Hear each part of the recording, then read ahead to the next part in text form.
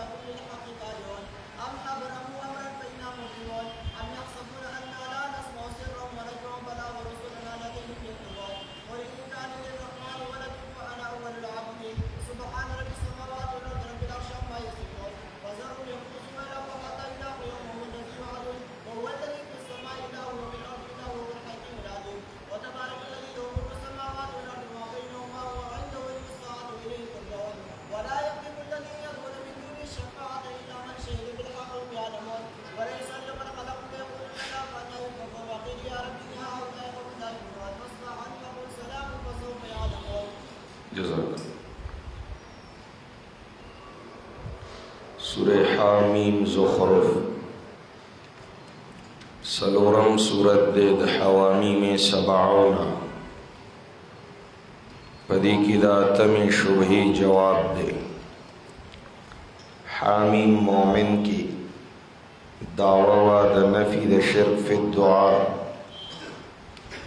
حامیم السجده کی د سلور شبهات و جوابونو حامیم شورا کی د دریو شبهات و جوابونو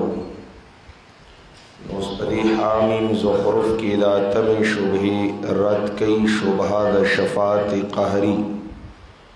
شپږ اتیایم نمبر آیت کې رد کیږي دی زینا آیت نمبر 36 شپږ دیشتم نمبر آیت دا زجر د معرضینو د قران ته معرضین منکرین د قران اغیل زجر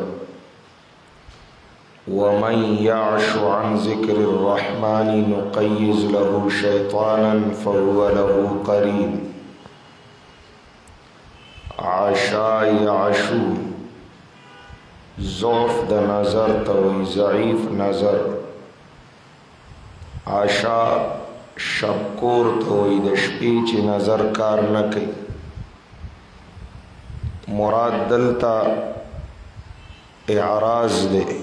مخړول من یعش عن ذکر الرحمن چاچی مخواړولو د کتاب د رحمان نا ذکر قرآن تفسیر مدارک کی امام نصفی حنفی تصریح کړی قران ته ذکر زکوي چې په دې الله یادي نقیز له شیطانا مسلط کو ورپسی کوم د پسی شیطان فهو له قرین نو دا شیطان د د مرګري مانا اعراض عن کتاب الله مرګرتیا د شیطان سره بیا د شیطان د مرګرتیا ډیوټي څه ده انهم لیصدونهم عن السبیل دا شیطانان بندي معنا کوي خپل مرګرو لرا د الله د لارې نه د الله د کتاب نه ويحسبون انهم مهتدون اور دی ګمان کوي چې دی دی په سمالار روان خلاف د الله د لارې کوي د الله د کتاب کوي ګمان دی چې دی په سمالار روان دي هدایت یافته دي سوره کهف یو سلسله رم آیت کې تیر شو یحسبون انهم یحسنون صنعا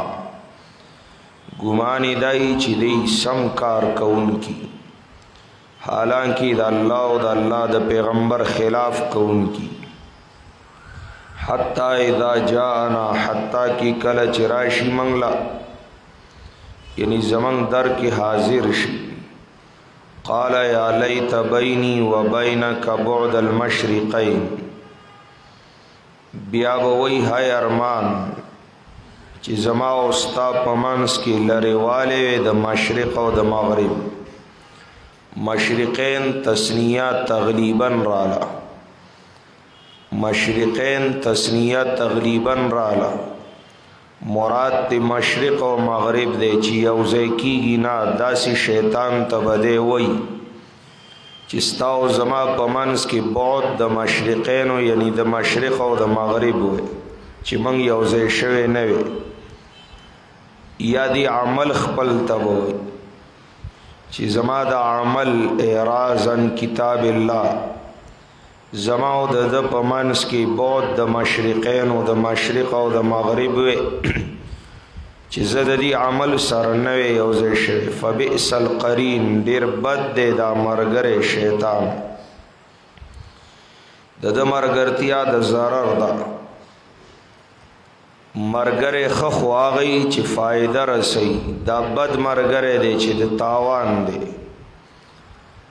ولن ينفعكم اليوم اذ ظلمتم هرگز نفع نشی رسول تاسو تن نن رزی کله چی زیاته کړو تاسو نفع او فائدہ و ملاو نشی ولی تاسو زیاته کړو زیاته سو یعشوان ذکر الرحمن انکم فی العذاب مشترکون یقینا تاسو به په عذاب کې مشترک یوزه لن ينفعکم اليوم دا ملامتیا تاسو له فائدہ نه درکې چې تم ملامتیا ښکار کې او تو یا لیت بیني و بینک بعد المشرقین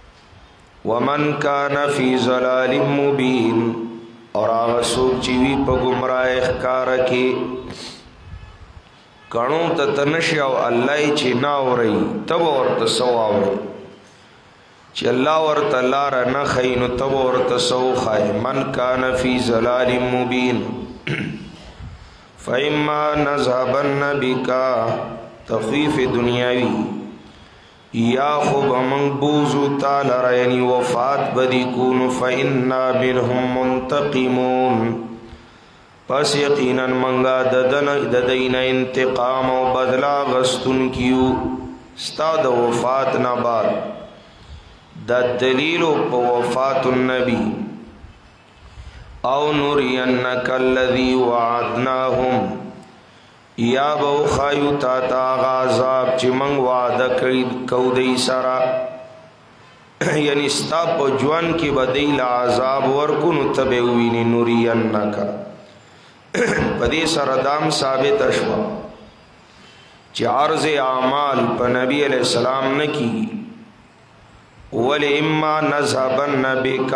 چې تا وفات کو د دینه بدلا والون تبه ونوینه خبر بنشي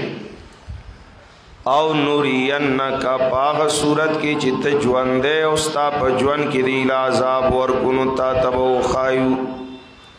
پس د وفات نه خو ته و نه نه کړه فإنا علیهم مقتدرون پس یقینا منګه په دی باندې قدرت لرون کیو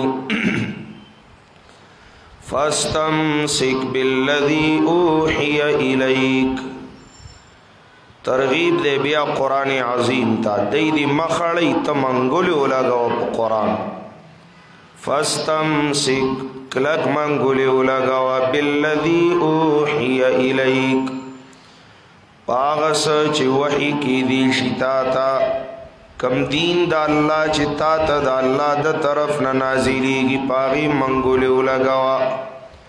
ا کتاب هم دی نو حدیث هم دی بالذی بجميع الذی اوحی الیکا وحی کی دی شتا تا استمساک مضبوط نیول په موټی کی کلک انک علی صراط مستقیم تسلی وا ته چې کله قران راواله نو څوک بوي شری دی څوک بوي کذاب دی څوک بوي ساحر دی العیاذ بالله الجمیل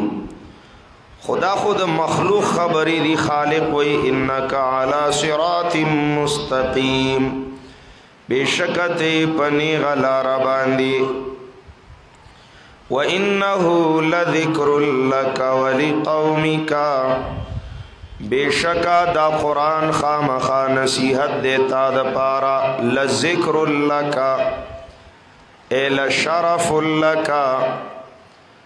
ستا د پاره پدی کی عزت دے دا الله د یاد ذریعہ دا ولی قومی کا او ستا د قوم د پارم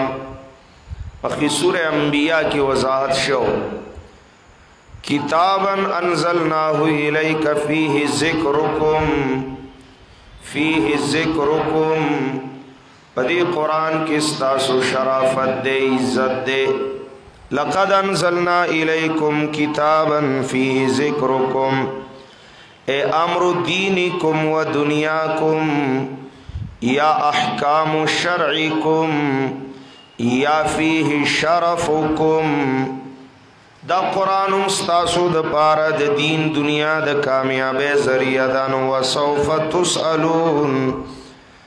زر دې چې تاسو نه بددي تپوس کې دي شي دا تپوس کله الله په دنیا کې هم کوي د قران په اعتراض معرضین له سزا ور کوي لکه نن چې دا سوره آثار د غضب او د قهر د الله دی داغي بنیادی وجہ اعتراضن کتاب الله دی برزخ او قبر کې بم الله تپوس کوي د قانون په باره کې د خپل کتاب په باره کې که کتاب سره نسبت د وفا او صحیح جوابونه باور کینو بیا وی قراتو کتاب الله فامنت به وصدقت قران تپوس په قبر کې دی نو آخرت کې خو خود دی من وصلنی وصله الله ومن قطعنی قطعه الله وسوف تسالون زرد چې تاسو نه به تپوس کیدی شي واسال من ارسلنا من قبلک د دلیل نقلی اجماعی دی تپوسو کا دا غچانا چې مونږ لېږلي مخکستانه مر رسولنا د خپلو رسولانو نه پخوانو پیغمبرانو نه تپوسو کا خو وفات شوي دي څنګه دي تپوسو کی نو یو معنا ابن جریر طبری کړي دا واسال من ارسلنا اے کتب من ارسلنا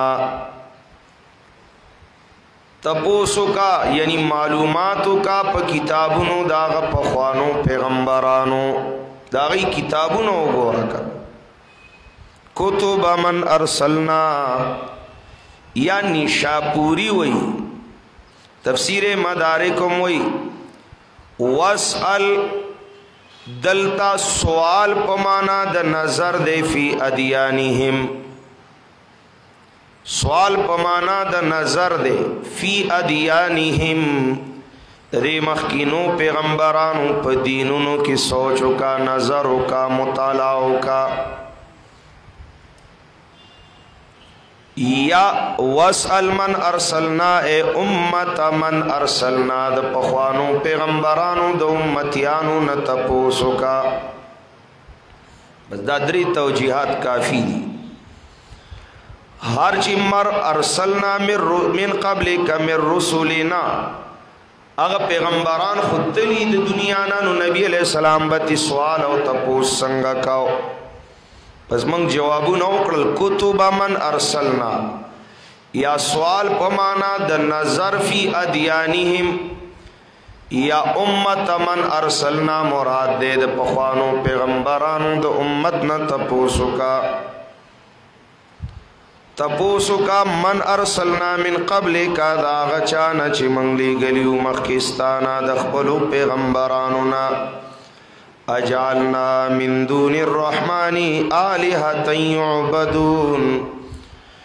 چې آیا ګرځولي مونږه ما سوا د مهربان ذات نه نور خدایان چې دا غي عبادت بکې دي شو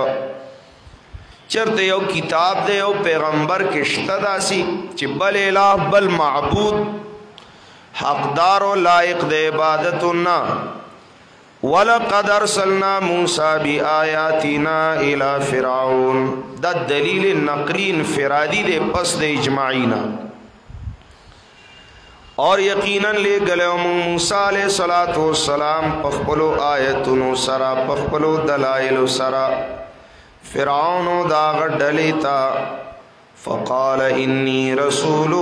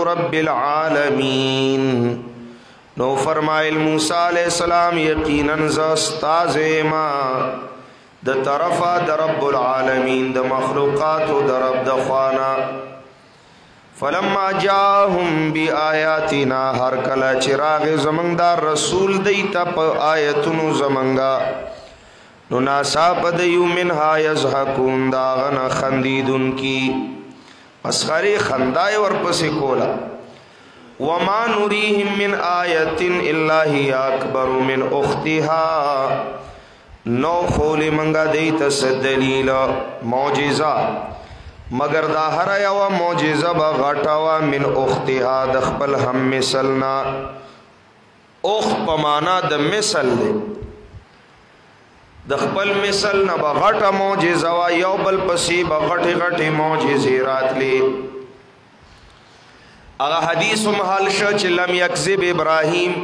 الا ثلاثه کذبات دا کذب په معنا د توریه د توریه زو معنی کلام ته وي یو کلام کې احتمالات ډیری د متکلم غرض یو وی مخاطب ته غرض بل والی نو ابراهيم عليه السلام ټول عمر ډنګ تو کلی صفا خبره کړي دا پدریو زینو کې زو معنی کلام کړي دي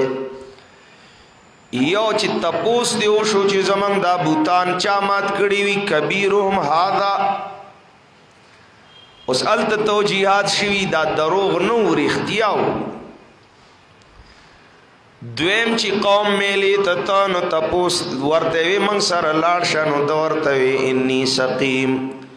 نو دا سقم د زړه درد دی دل مراد دی زما زړه درد مند دی ستاسو په دې شرک دا دروغ نه وو رښتیاو پیغمبر د الله د قوم په شرک به درد دی د خپه کې دا زیری دا یو چې د هغه زمانې فرعون د سارا بی بی په باره کې تپوس کړو چې دا څوک ده نو دا هذه اختی دا زما په مثل ده یعنی زما غوندې موحده ده دا نه چې خور ده اوخ په معنا د مثل دلتا واخذناهم بالعذاب او نیولی میو دی لرا پا عذاب خامخا چی دی رو گرزی اللہ تا عذابونه په دنیا کې نه خینې خاني د الله د خفغان دی ل راضی چې بندګان رجوع ال الله وکي وقالو یا ایها الساحر دا فرعونیت دی دیوی او جادوګرا محتاج دی ورته راغلی دی ورلا خو لیکن بی ادب دی د بی ادب خبره کوي ایه الساحر ای جادوګرا ادع لنا ربک بما عهد عندك دعا غواړه زمنګ د پاره د خپل رب نه په سبب د دې چې وعده کړي د تاسرا تاسرا رب وعده کړي د دعا د قبولیت نو موږ له دعا غواړه اوس راغلی د دعا د غختې د پاره لیکن بی ادبی کیا ایه الساحر سوره یوسف کی علما د تفسیر لیکي ایه الصدیق یوسف ایه الصدیق وې دین معلومیږي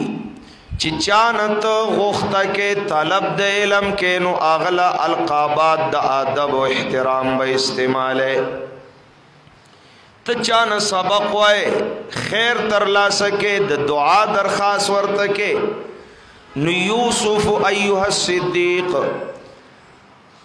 اے یوسف او ډیر رښتینی ایها الصدیق لازمه دا واجبه دا چې د چانه خیر حاصله هغه د پاره القابات د ادب او د عزت بوای خو په انصاف بوای شیخ د ویسار رحم الله راغلو ما ورله د تقریر دعوت ورکا نو ما ډیر د مینې اظهار کاو چې سال قابات می زدو نو ویل می او دا غسر خایدلم سو مبالغه نه واغه هو دا سید صفاتونو وا تاسو سلی دلی دی مو خډیر لوی لوی خلق لیدلی نو تقریر کې د احمد علی لاهوري رحمت الله علیه خبره کوله چې مولانا حسین علی رحمت الله علیه بارک لاهوري سے بوي سالانه جلسه به کول علما به راټولول مولانا حسین علی رحمت الله علیه به امرا غختو بیا به دعوت پخپل ورکاو نو لاهوري صیب به وي دا نور علما مې راغوښتي دي د دې دپاره چې عوام ترې استفاده وکړي حسین علي صیب مې دې له راغوښتی دی چې علما ترې استفاده وکړي دا د علماو د استفادې وړ دی نو بیا یې په القابات خبره کوله نو بیا یې دا وی ماته تقریر دوران کې القابات کې لګه گزاره کوي ښا خو په کار د چې شاګرد د شیخ د بارا القابات د ادب استعمال کی په انصاف سره دلته دا ظالمان فرعونیان موسی علیه السلام له راغلي طلب د دعا کوي لیکن یا ایها الساحر د بی ادبه خطاب کوي جادوګر ورته دي ته فرعونیت او دع لنا او غواړه زمنګ د پاره ربک درې قسمه دعا ده یو دعا الحی من الحی الحاضر جائز طلب د دعا د ژوندۍ د ژوندۍ حاضر نه جایز د لکه دازه موسی علی السلام ژوندې دی او حاضرم دی نو درخواست ورته کوي چې دعا را ل د رب نه وغواړه دا جایز دا پدی کې د تفاضل شرط نشتا د تفاضل شرط نشتا معنا دا نه د چې خامخا به کشر د مشر نه د دعا درخواست کوي خامخا به شاګرد خپل شیخ ته وای مرید به پیر ته وای نه نه کله مشر بم کشر ته وای چې مال دعا وغواړه لکه عمر رضی الله تعالی عنہ چې عمرې لروانو نو نبی علیہ السلام ورته ویلا تنسینا فی دعائک یا اخی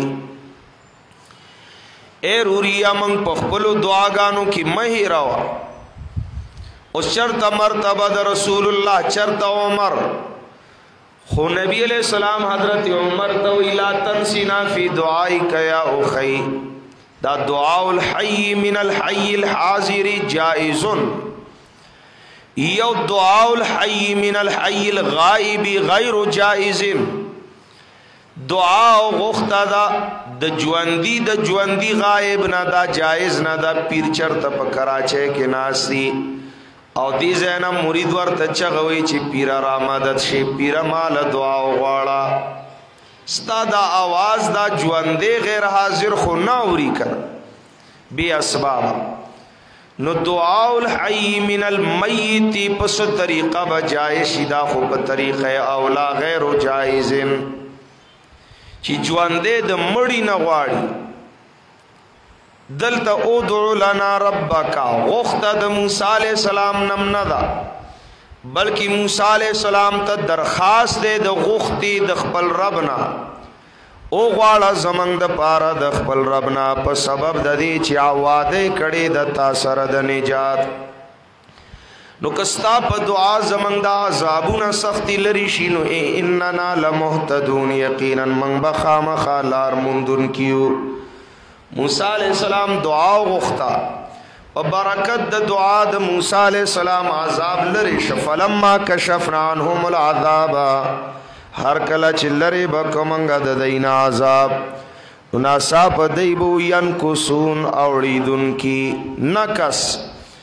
په پوند تاویدل اوړیدونکي د وادینا هدایت او نیغه لار پرې خودونکي ونا دا فرعون او आवाज کو فرعون خپل قوم کې اے وی وی اے قوم زما الیس لی ملک مصر یا نشتره مال اختیار د مصر زه د مصر واقدار نیمه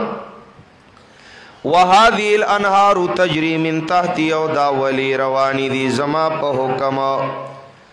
اول آبپاشي نظام نهري نظام په دنیا کې فرعون متعارف کړو درې غټ غټ نهرونه جوړ کړو خلجان دميات، تونيس او طولون د دې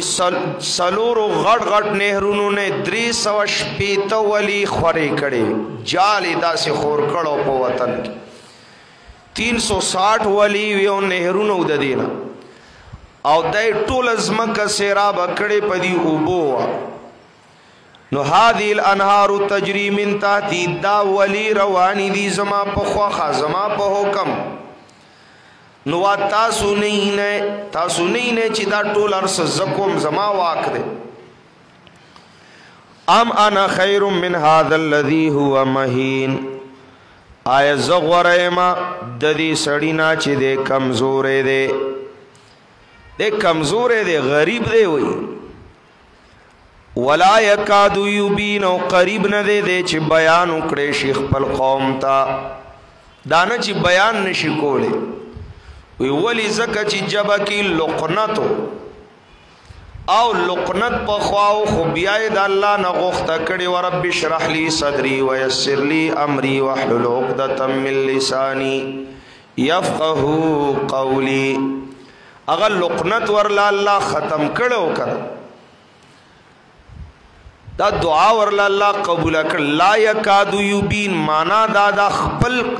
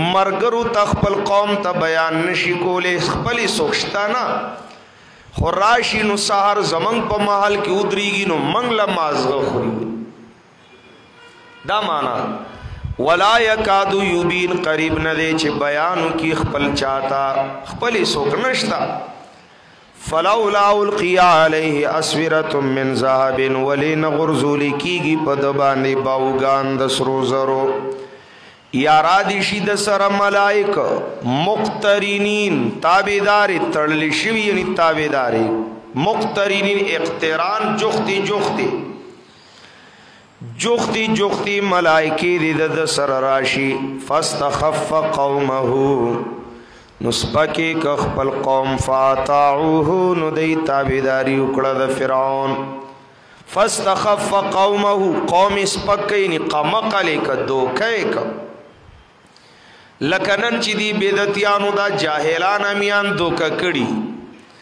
او ځان له غلامان کړي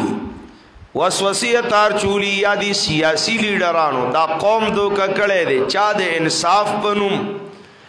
چا د روټي کپڑا مکان پنوم چا د بجلی ګیس او د سړک پنوم چا د شریعت او د جمهوریت پنوم فاستخف قومه فاطاعوه سپکی کینی قمقلی که خپل قوم نو دی تابیداری اکڑا دا فرعون یقینا دیو یو قوم فاسقین ما تون کی دا اللہ دا حکمونو باطل پرست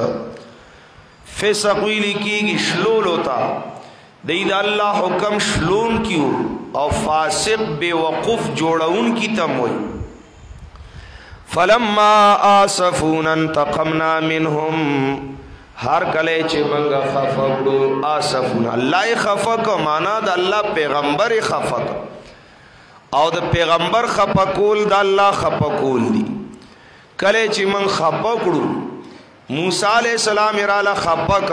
من عاد لی ولیا فقد اذنته بالحرب حدیث قدسی دی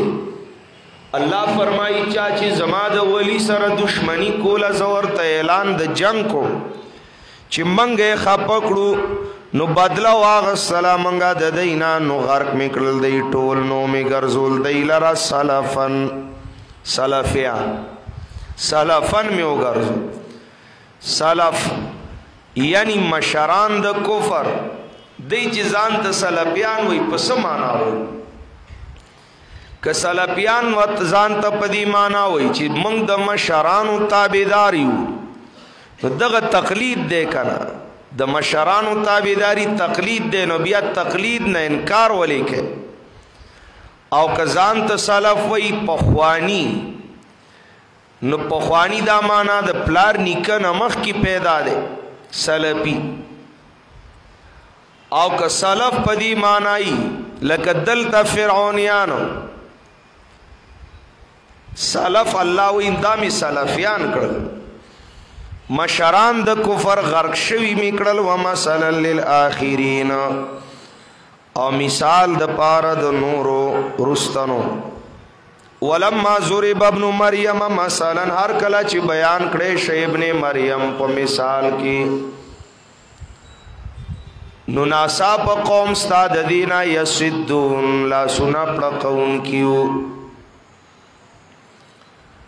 اے آیت نمبر 45 سره دا متعلق دی آیت نمبر 45 کی وی وسل من ارسلنا من قبلک من رسولنا جعلنا من دون الرحمن الہتا یعبدون نو دوی ولی د عیسی علی السلام چې عبادت شوه دی یا غم غلط شوه دی لاسونه پړقول وګوره وی دی د عیسی اولوہیتم نه منی عیسایان را پارکول بعضی خلق وی دا آیت نمبر اټھانوے د سورة انبیاء سره لګی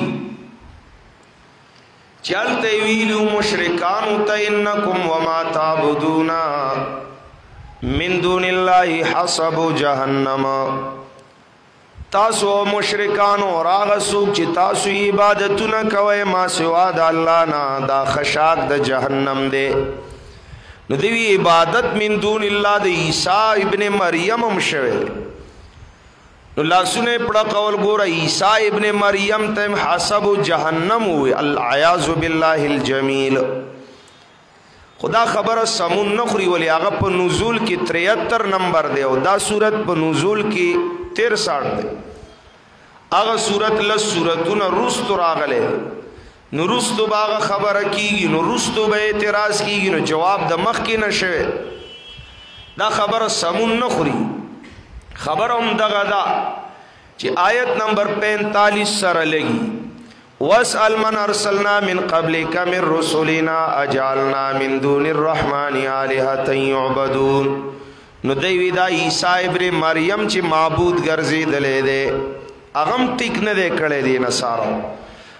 ولما ضرب ابن مریم کله چې بیان کړي شي په مثال کې ابن مریم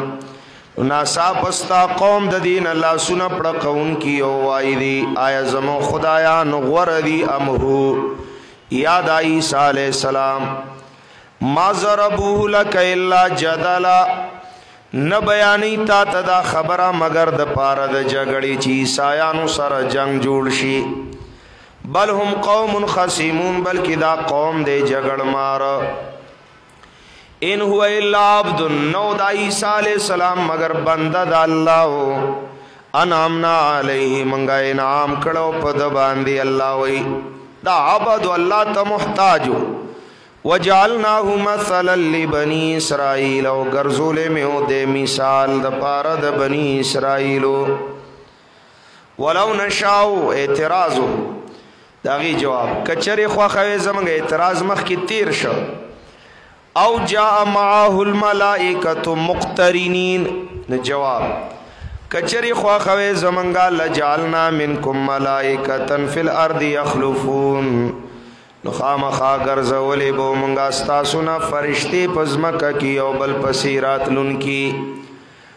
نو که تاسو فرښتې وای نو ستاسو د پاره پیغمبر بم فرښته راغلی و انه لعلم للساعه انه ضمیر په مرجع کې احتمالات ډیر دي انه دا عیسی علی السلام یعنی د نزول په قرب قیامت کې لعلم للسائل علم للسا خامخا نښه د قیامت ده قرب قیامت کی به دی را کوزیږي په دمشق کې باب لط په مشرقي مناره د سهار د مانزه په وخت کې اقامت بشوي تکبیر بنی شي حضرت مهدی به امام وي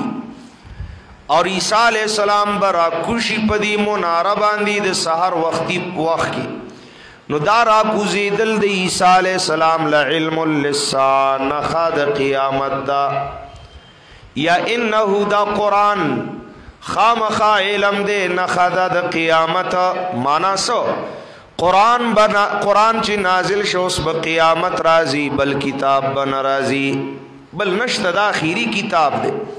نو دا نه خد قیامت شو چې دې پسې بل کتاب نشته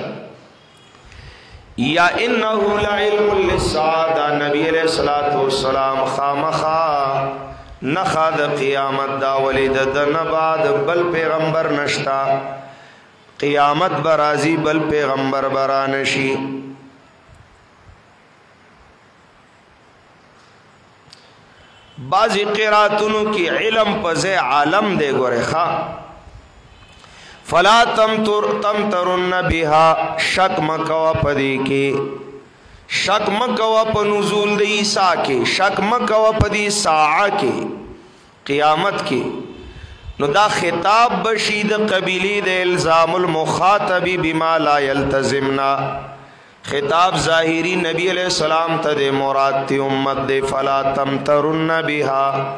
ته شک مکو په دی قران کې شک مکو په قیامت کې شک مکو په نزول د عیسی علی السلام کې یا امتی شک مکو په دی رسالت د رسول اکرم کې وتبیونی زما تابعداریو کې هاذا صراط مستقیم دا زما تابعداری نه غلاره ده ولا يسدنکم الشیطان وادی نړی تاسو لره شیطان د سنه قران نه نبی علیہ السلام نه وادی نړی د قیامت د تیارې نه ولدا د استاسو د پاره عدو مبین دشمن خکارا دریم جواب اوس ولما جاء عیسی ابن عیسی بالبينات هر کله چې راغی عیسی علی السلام په واضحو دلایل سره قال نوې فرمایل خپل قوم ته قد جئتکم بالحکمه یقینا زراغله ما تاسو ته په حکمت حکمت العلم والعمل والبيان حکمت یا نبوت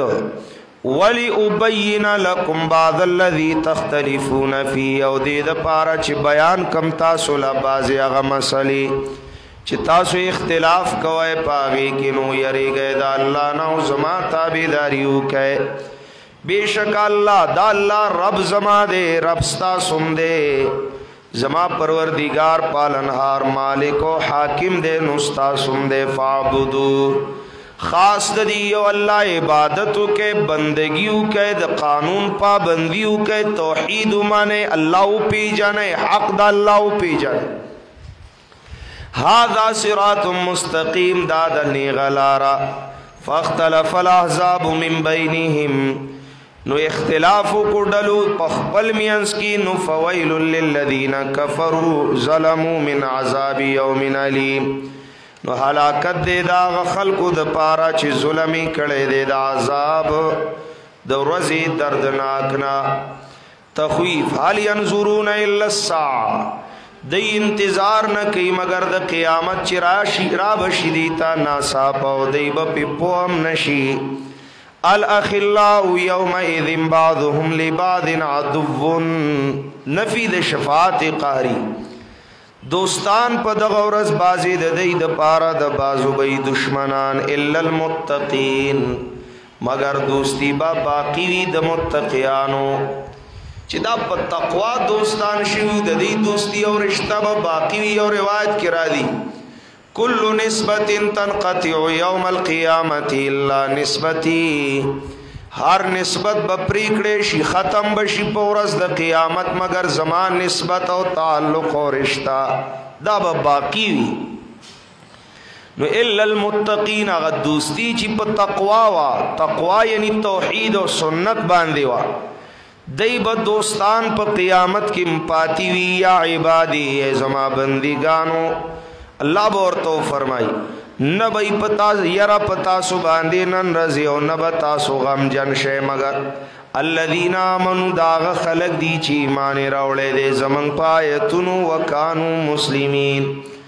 او دی تابعدار دی ته به ویلی شي ادخلوا الجنه دننه شئ جنت ته تاسو او ستاسو جوړي تحبرون خوشاله به کړی شئ په جنت کې ګرځي به په دی باندې بصحاف من ذهب په پتنوسونو صحاف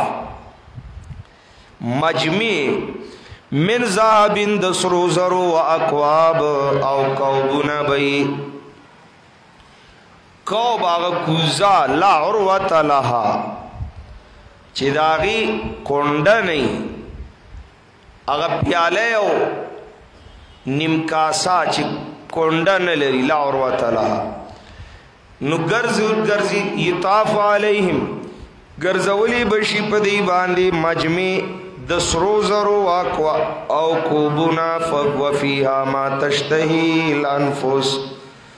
اور په دې جنت کې به ما تشتهیه الانفس هغه چې غواړي د دې نفسونه وتلذ الاعین او لذت د سترګو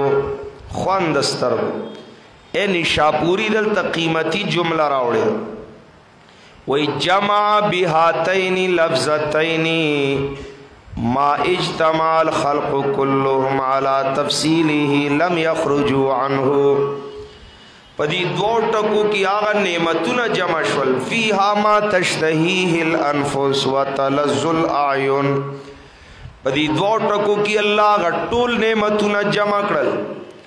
که دا ټول خلق د دې په تفصیل را جمع شي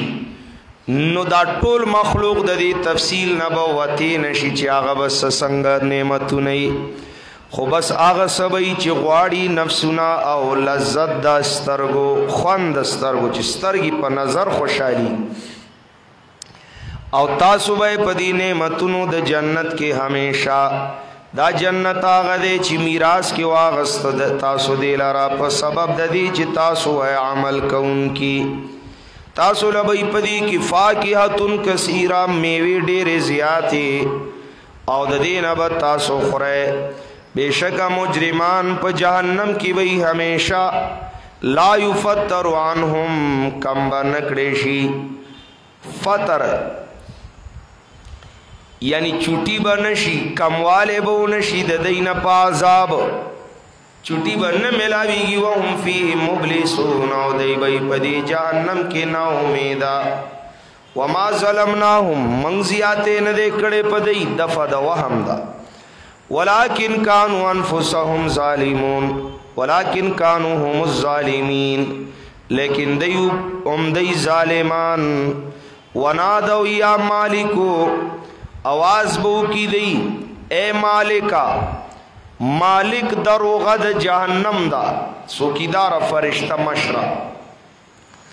اے د جهنم سوکیدار فرښتې مشرې مالک دعا غواړه زمنګ د پاره لیقضی علینا ربک چې فیصله د مرګو کی په منګ باندې ستارب چې بس مړ شو ډیره سخته ده زکه دنیا کې د هرې سختي اخیری لار مرګ دی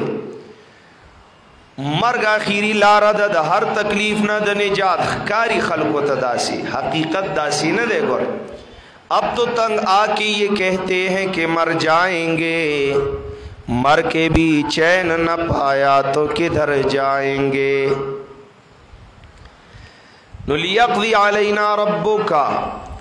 اے مالک دعا غواړه چې فیصله د مرګ کی په من باندې ستارب زر کال بعد چې دا زر کال چغي وي حدیث کې را دي زر کال بعد به دا جواب ورته ملاويږي قالا دا مالک فرښتہ ورته وي انکم ماکثون بشک تاسو سیدن کی اے پدی جهنم کې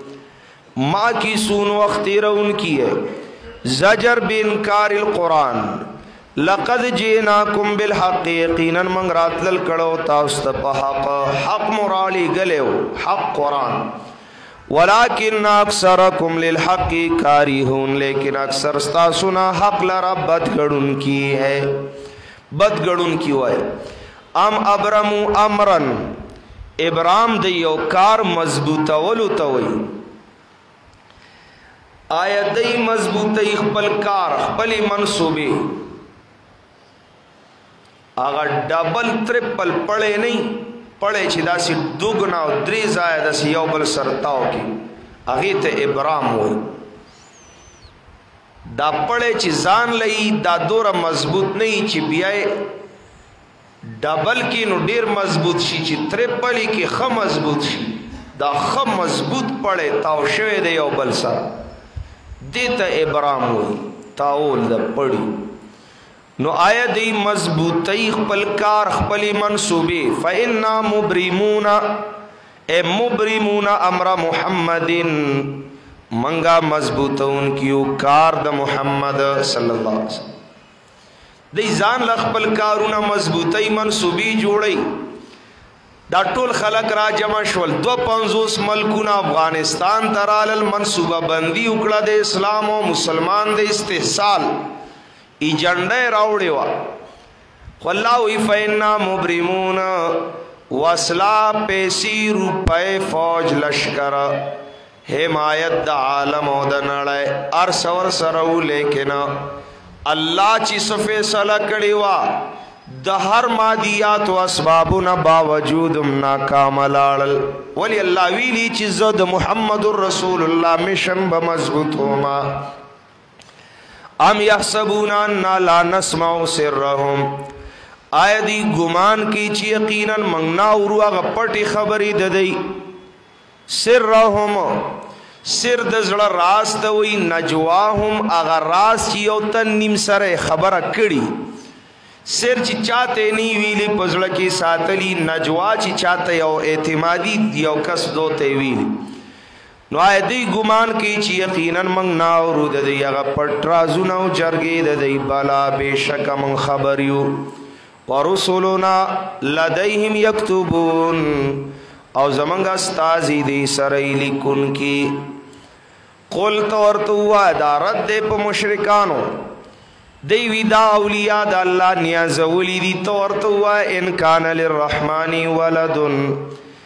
که چری وی د رحمان ذات د پار ولد نو فانا اول العابدین ز اول د عبادت کوونکی نیم د ولد د رحمان دا جمله شرطیه ده جزاء جزاءان ممتنعان ان کان للرحمن ولد ممتنع دا نو فانا اول العابدین ممتنع دا یا ان نافیه دې نشته دې رحمان له ولد کوي نو ما با اول دا غ عبادت کړي عابدین په معنا د انیفین درم تفسیر دا دی عابد عابدین په معنا د انیفین ایک رحمان لتا سو ولد ثابت او نزا ولما د دې مسلې نه د نفرت کوونکو نه انا اول العابدین اول الانفین ز اول د دې خبرې نه نفرت کوم کرک کوم دا خبر او دا داوا اتخذ الله ولدا مال مکروه دا انا اول العابدین خو بس هغه راجی تفسیر کچری د الرحمن ولد و نو ما به اول عبادت کړي وي نو جمله شرطیه جزاءان ممتنعان د رحمان ولد نشتا نو اول عبادت عبادتم نکوم د بل پدې ځای امام رازی رحمت الله علیه لیکي آیت نه دا معلومیږي چې د استاد د زوی قدر بم د استاد غوندې کې سابق سے بتا تا معزز وی دا غي عزت بکې ولی د معبود د زوی عبادت دی نو د استاد قدر دی نو د استاد د زویم قدر دی دا غ سره مینا پکار د انکان للرحمن ولد کچری وی د مهربان ذات نائب نزیما اول دا عبادت کوونکو نه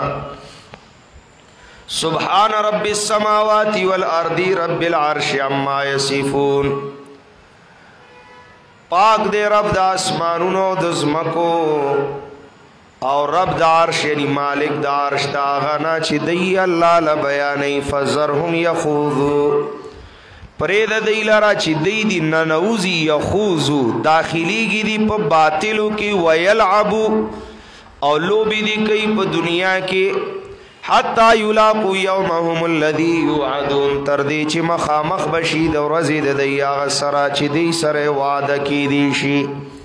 اس نفی د تصرف د غیر نه دا الله غزاد دې چې په اسمان کې م الہ دې نو پزمکه کې م الہ حاجت روا دې او دا الله دې حکمتونو والا پویا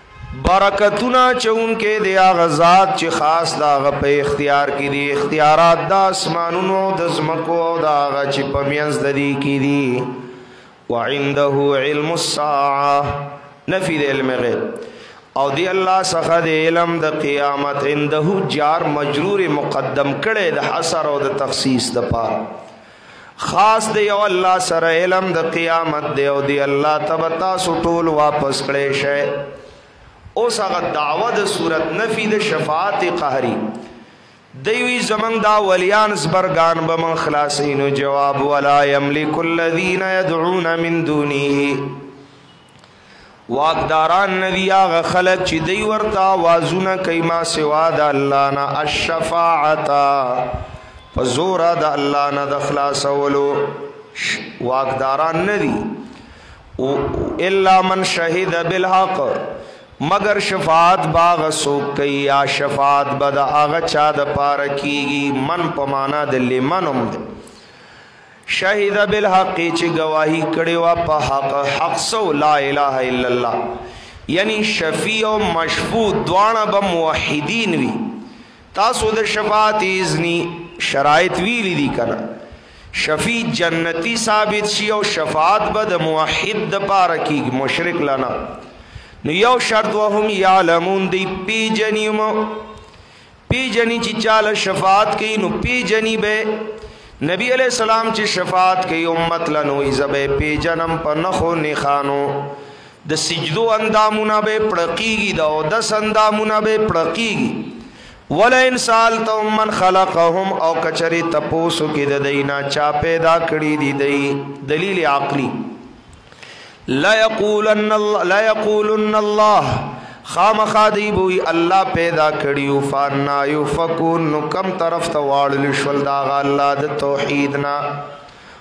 وقیله شاهد ده دا وینا د پیغمبر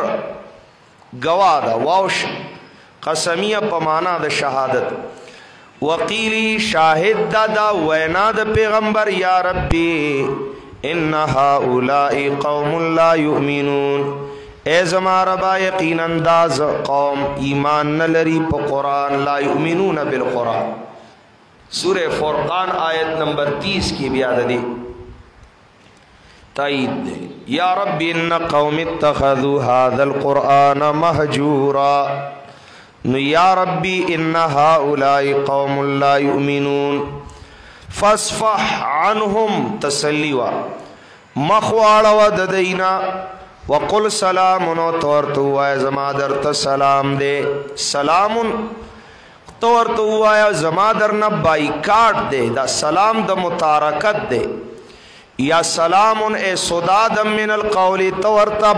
ایغه نیغه مسله د الله د وحدانیت او کا د الله قران ورته بیان کا فسوف يعلمون زرد چدی بپوشی پخپل انجام سوف ترى اذا كشف الغبار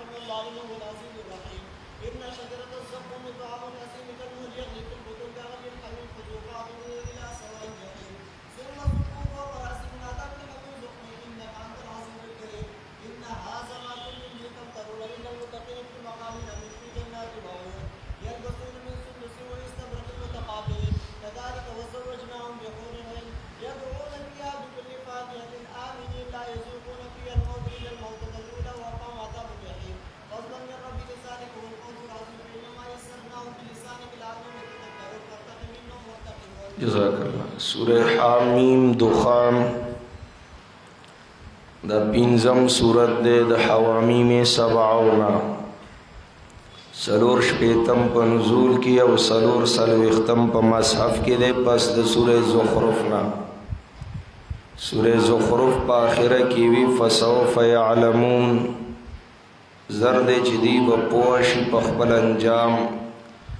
دلته مثال د فرعونیانو چې خپل انجام ته ورسېدل او پوه شو یا مخکې عذاب د مشرکانو تسلی و نبی علیہ السلام ته دلتم نمونه د عذاب د مکه والو او د قوم فرعون ده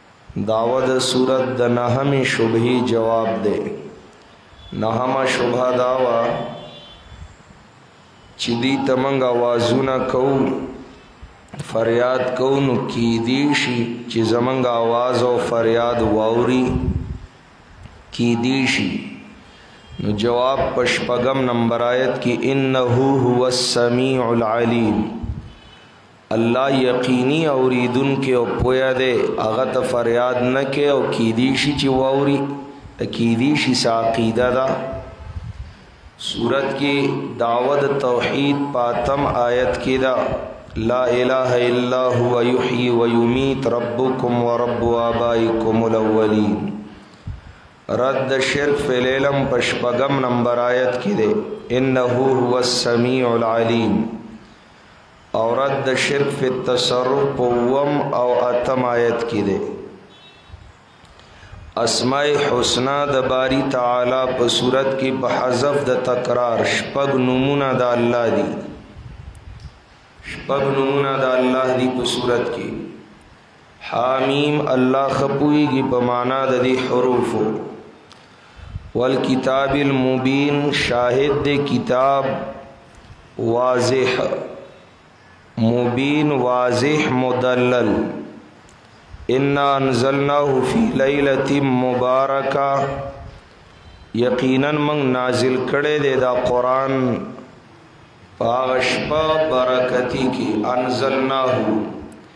مراد د دې نه نزول د عالم غیب نه عالم شهادت ته لوح محفوظ ته دا په یو شپه برکتی شپه کې شوی دی یا انزلناه ای بدأنا انزاله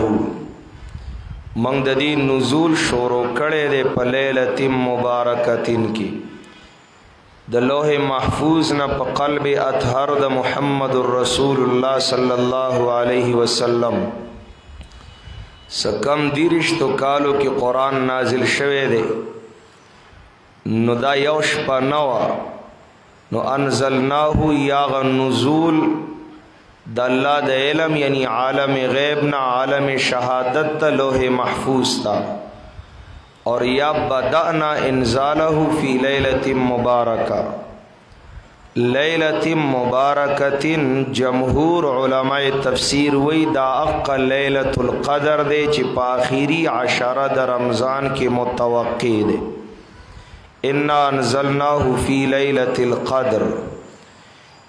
ابن کثیرم داوی آلوسیم داوی او نور علما د تفسیرم داوی چې لیلتم مبارکتن مراد لیلۃ القدر ده قتاده او د ابن عباس نم دا قول منقول دی المراد من هذه الليله هي ليله القدر فی عشر الاواخر من رمضان مراد د دې لیله نه لیلۃ القدر دی یو شپه د صفاتونه ډیر دي الته په صفت د قدر موصوف کو دلته په صفت د مبارکتن موصوف کو دا شپه د پاخيري عشره د رمضان کی بعضی خلق خطا کیږی او دا لیلت مبارکت نصف د شعبان راخلی نصف من شعبان یعنی پینلسم د شعبان پینلسم شپه د شعبان شب برات ورتوی وی دات مراد دا نو بیا د شب برات د پاره یا حدیث جوړ کړی دی په دې کلام کړي دی حضرت شیخ القرآن علیه الغفران په ضیاء النور کې صفحه 221 باندې عنوان تړي البدعات فی شعبان د شعبان بدعات یادې بیاوی وقال فی تذکرۃ الموضوعات ابن جوزی په تذکرۃ الموضوعات کې وایي صلات نصف من شعبان باطل د نصف شعبان دا منزونه چې د شپې عبادتونه خلق په تخصیص سره کوي دا باطل دي ضعیف و جمهور رواته من الطرق الثلاثه مجاهیل دریوانا سندونه د دې روایت دا دی کې جمهور روات مجاهیل دی ضعفا دی لم یاتی بها خبر ولا اثر الا ضعیف او موضوع د دې نصف شعبان په فضیلت کې هیڅ حدیث نشتا مگر چې دا سور دی دا موضوعی او ضعیف دی زید ابن اسلم وی ما درکنا من مشایخنا وفقهائنا یلتفتون الی لیلة البراءة وفضلها علی غیرها منګه خپل فقها او مشایخ کې څوک نه دی لیدلی چې هغه د شپې د شب برات ته التفات کړي او د دې فضیلت ذکر کړي ها ابن دهيم وی احادیث د صلات برات په باره کې د ليله البرات شب برات د منځونو په باره کې روایتونه یو پکې مقطوع دي نور روایتونو کې کذب دي او ضعف دي موضوعات د ابن جوزی صفحه 127 باندې لیکي صلات ليله النصف من شعبان منها الصلاة المتداولة بين الناس من طريق علي ومن ابن عمر ومن طريق ابي جعفر الباقر د نسب شعبان والا روایت د فضیلت د منزونو دا پدریو طریقو سره مروی دی درې سندونه دی یو د علی رضی الله تعالی عنہ نه روایت دی یو د عبدالله ابن عمر رضی الله تعالی عنهما نه روایت ده او یو د ابي جعفر الباقر نه روایت ده ابن جوزی وی مقتول اسناد دا درې وانا روایت سندونه د دې روایت مقتول دي بیا په کلام کوي او د دې سند ښکارا کوي او د سند د کلام نه بعد خپل فیصله لیکي هذا حدیث لا شک انه موضوع دا حدیث د فضیلت د شب برات ایش شک پدی کې نشته چې دا حدیث موضوعی دی وجمهور رواته فی طرق الثلاثه مجاهیل جمهور راویان په دریوانو طریقو سره پدی کی مجاهیل دی وفیهم زعفا او پدی کی کمزور راویانم دی اور حدیث هغه د قران سره ټکراویږي ځکه قران کې یو ځای وی انزلناه فی ليله القدر التد اچا قول د نصف شعبان مبارک نشتا بل زوی فی لیلۃ مبارکۃ دلته کچا قول د نصف شعبان کړي دي نو تعارض بین الایتین راغی بیا او یغه نزول جدا دی او دا نزول جدا دی یو شپه د خو صفاتونه بدل بدل دي نو دا د نصف شعبان د پینلسی دا فضائل چا زور جوړ کړی شیخ القرآن رحم الله و فرمایل په دویمه صده د اسلام د ایران یو مشهور قبیله وا چې هغه ته برامکه ویل کېدل هغه مسلمانان شول دا خيارانو نو دلته په اقتدار کې لوی لوی عہدی حاصل کړي او دی په اوچت اوچت وزارتونو کې ناشته ده مخکې چون کې دی آتش پرستونو هغه د مجوسیت رسمونه پدې کې موجودو مجوسو به دوا اخترې کولې یو نوروز یو مهرجان کله چې د دې نوروز براغه نو په نوروز بدی ورونه بلول ولې د دې د عقیده وا دغه ورځ شپې دي د نوروز د جشن د مجوسو چې کله نور برجسور ته ورسی نو لاندې زمنګ فصلونه پاخشي غلي دانی پیدا شي نو بر د نور نمونه پزمکه کې ورو او برج سور سور غوي ته وي نو خکته پزمکه د غوا عبادت وکاو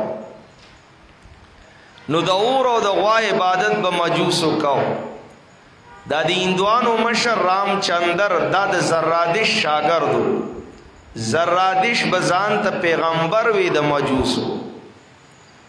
او کتاب لیکلې د دساتیر پنځل سپاره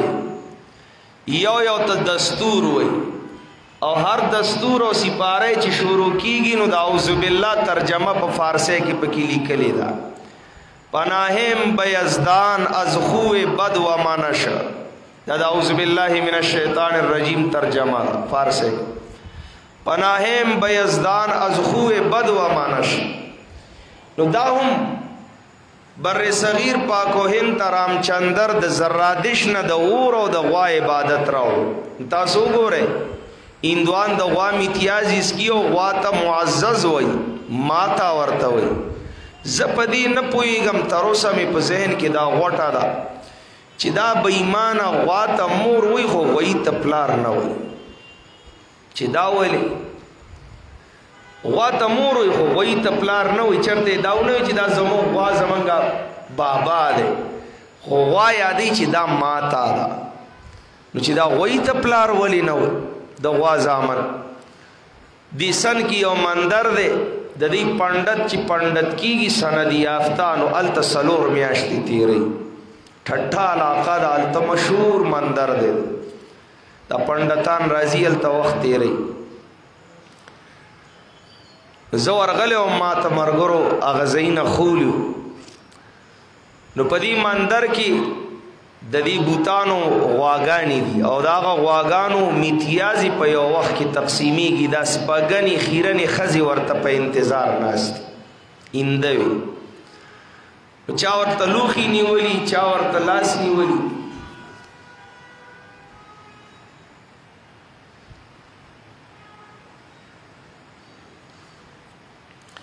الکه چې څوک څه وایي نو زه د هغې ذمهوار خو نه یم ما چې څه وویل زه د هغې ذمهوار یم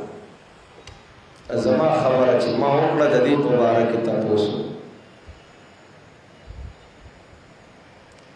او دا خلک چې فضیلت بیانې نو ما پې کلام ونه کړ دا زه ولی لګیا یم دوره ټیم لیلت مبارکتن خلق نصف شعبان یادی دا غی دلائل می در تووی چی دا دریر سند نو سر دا روایت دا فضیلت دا نصف شعبان دی نو خلقی وی زکی زرد کم کچا نویلی نو ما بسکارو درد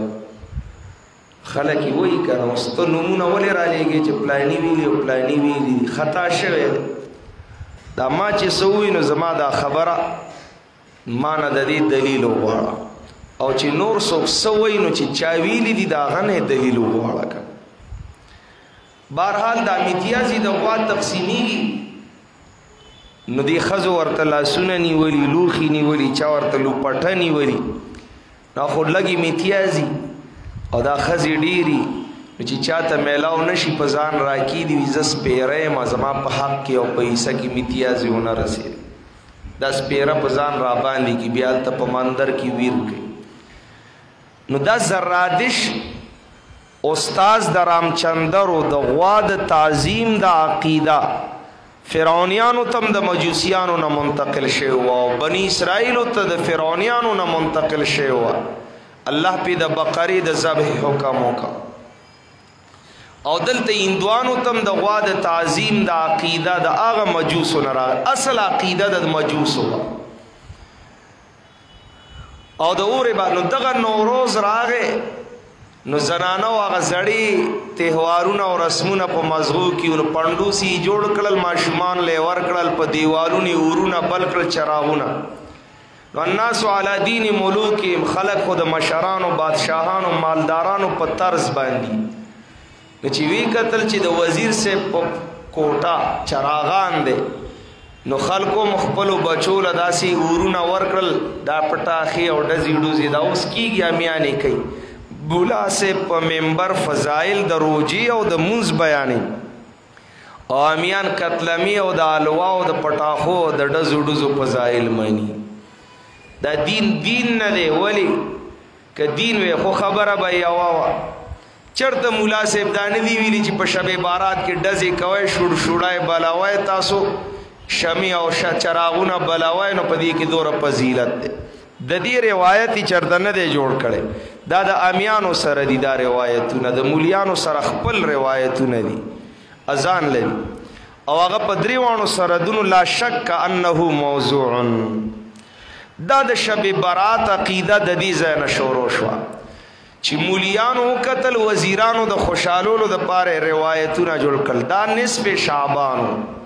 د نوروز دا تهوار په نصف شعبان راغله نو مولیانو ورل روایتونه جوړ کړل او دا سکیږي د بادشاه د خوشالولو د پاره درباري مولا کله د حدیث په نوم ځان نه څه جوړی مهدی د کونتر سره لوبې کولی مولا تیریده وی قال رسول الله صلی الله علیه وسلم نبی علیہ السلام ویل ټولې لوبې عبسی دي سوا د دریو لوبو یو د اس غلاول یو د نخی اشتل او یو د کونتر سره لوبې مهدی وی چاړه راوړی کونتر یې حلال که چا ورته وی دا قیمتي کونتر او تا حلال که دور خپل کونتر وې دی ظالم ورله حدیث جوړ کو زه پوهم چې دای د ځان نه وی حدیث کې دا دوه خبرې راځي درېم نشتا د زما د خوشالولو د پاره حدیث جوړ کو نو ما کونتر حلال که چې دا حدیث چرته پاتې نشي دا غلط وای ما خوشاله نو درباری مولا خود سي کوي د شب برات روایتونه کوم چی صحیح احادیث دی هغه به چری بیان نه کی تاسو ددی د خلی نه چرته د ایام بیز د روجو فضائل بنی اوریدلی داسی نور کمی روجی چی کم په صحیح احادیث دی قران خبره د صحیح حدیث خبره به نه کوي خو بدعتي به ټول عمر موضوعات او خرافات پسې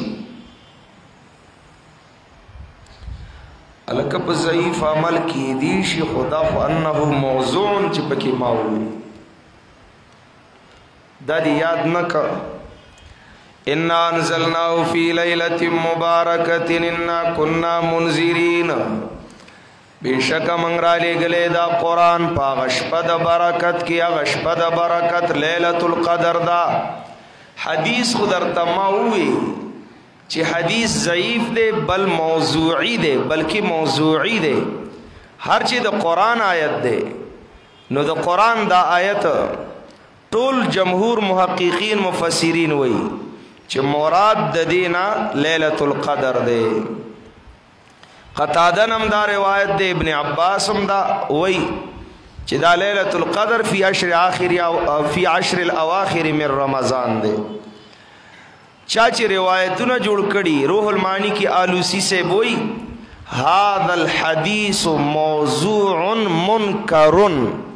دا روایت په فضیلت د شب برات حدیث موضوعی منکر دی بحر محیط کې ابو حیان وای ولا یصح فیها شیء اس یو روایت په کې صحیح نشتا قرطبی وای ليس في ليلة النصف من شعبان حديث يعول عليه نشتره چرته په نصف شعبان یو داسې روایت چې د دې آیت تفسیر پاغه روایت وشي چې ليله مبارکه تن مراد نصف د شعبان واغست چرته یو روایت هم نشته آسی د ځان نه قصه جوړه کړې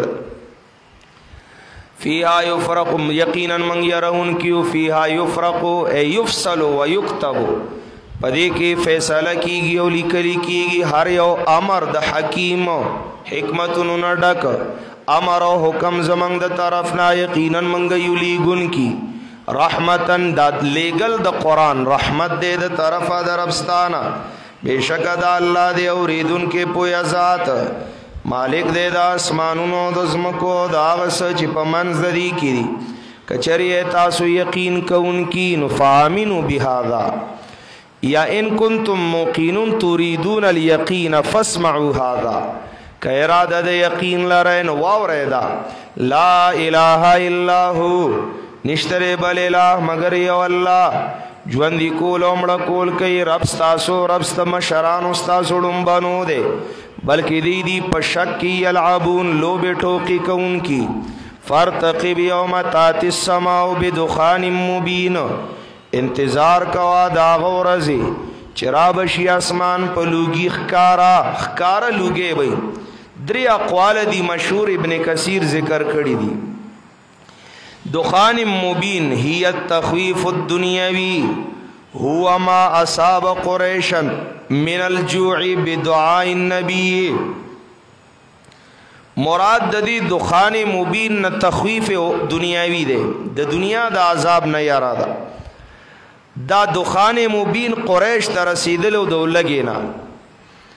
نبی علیہ السلام خیری کړی وی او هجرت چوکو نو په قریشو قحط راغې دومره وګی شول چې د خوراک سنو نظر نه لګی د بیا سړی چې ډیر وګی شي نو لوګې لوګې پستر ګوراشي دغه دخان مبین تخویف دنیاوی د عذاب دنیاوی ذکر دی یا انه من اشراط الساعه لم یجیء بعد دا دخان مبین د قیامت د علاماتو نه یو علامه ده لا راغلی نه ده راضی با حدیث کې راځي یو لوګي به په مؤمن به زکام لګي او کافر به سم تړپي نو داغه دخان مبین من اشرات الساعه لم یجی ولا راغله نه دی بعد راضی با دریم قول دا دی چې مراد د دې نه فتح مکه ده، لما حجبت السماء الغبر. خو عبدالرحمن اعرج وایي هذا القول غریب جد بل منکر دا ډیر کمزورې قول دی چې مراد تی فتح مکه ده چې صحابه په مکه چړای کوله په اسمان داسې دوړه وه د صحابو د اسونو د خپو نه داسې دوړخ اوچته شو دا قول غریب دی بلکې منکر دی بس غور اقوال دا دو دی یا قهد د قریشو ته مراد دی یا د قیامت د علاماتون علامه ده یوم تات السماء بدخان مبین په هغه ورځ چې را به شي اسمان په لوګي ښکاره یغش الناس پټ به کي خلکو لرا دا عذاب دی دردناک بیا به دي چغي وي ای رب زمنګا لره ک زمنګ نا عذاب یقینا منګا مؤمنان خو ان لهم الذکر کم زه به د دې د پارا نصیحت غستل اور یقینا راغله او دیتا رسول مبین بیانون کې د حق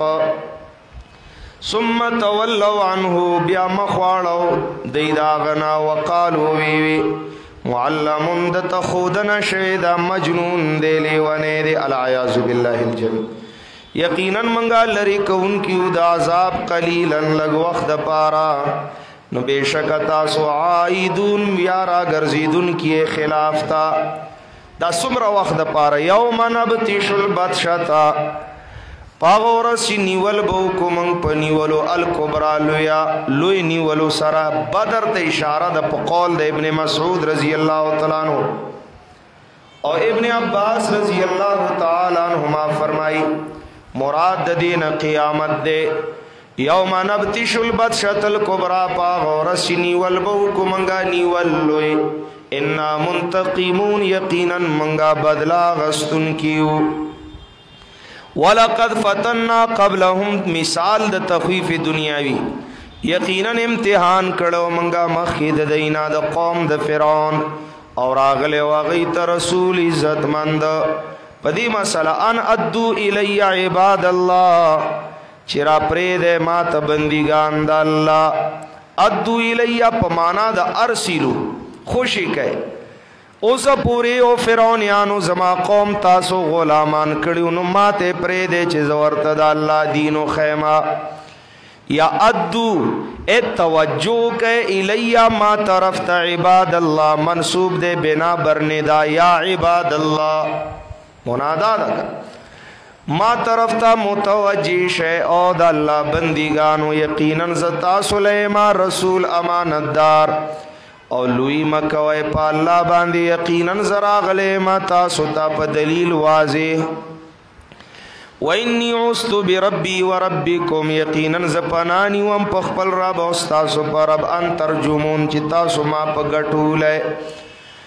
وَإِن لَّمْ تُؤْمِنُوا لِي که چېرې تاسو ایمان نه راوړی په ما باندې نو فَاعْتَزِلُونِ زما نه جدا شئ فَدَعَا رَبَّهُ سوال وکړو موسی علی السلام خپل رب ته چې یقینا دا یو قوم دی مجرمان نو الله ورته فاسری بعبادی لیلا د شپې بوزه زما بندګان په یو حصہ د شپې کې انکم متبعون یقینا تاسو پسې بروان شي دا فرعونیان متبع به تاسو تاسو تابعداري وکي واترک البحر رهوا پرې د دریاب ولاړ چې ته د دریاب نه پورې وځې بیا یې وبر روانه و ما پرې دا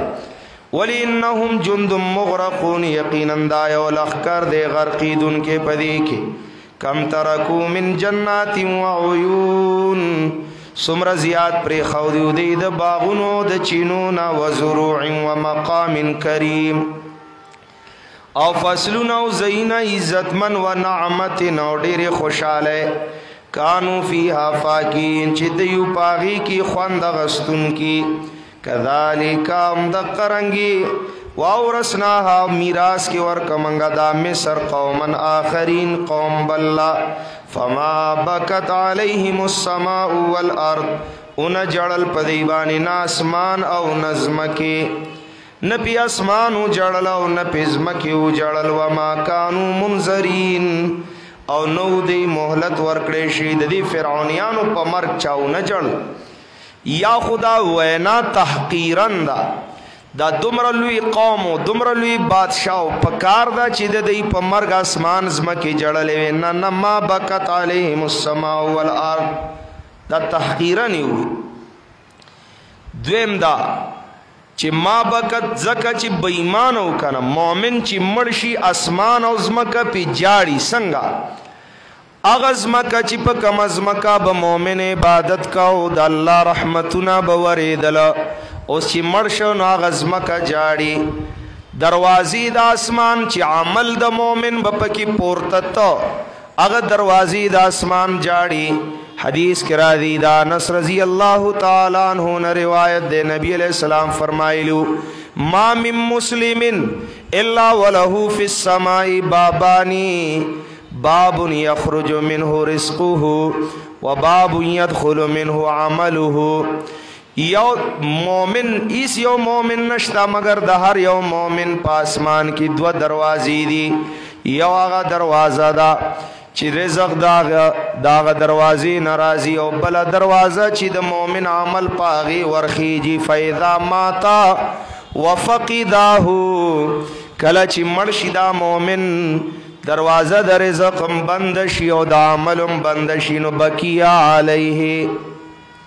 دا دا دوانه دروازی د مومن په مرګ جاړي وتلا هذه الايه بیا نبی علیہ السلام دا آیت تلاوت ک فما بکت علیہم السماء والارض فرعونانو باندې اسمان زمکیونه جړ رواه الترمذی دا روایت د ترمذی شریف دا انس ابن مالک رضی الله تعالی عنہ بل حدیث د علی رضی الله تعالی عنہ د ان المؤمن اذا ما تبقى عليه مصلاه من الارض ومسعد عمله في السماء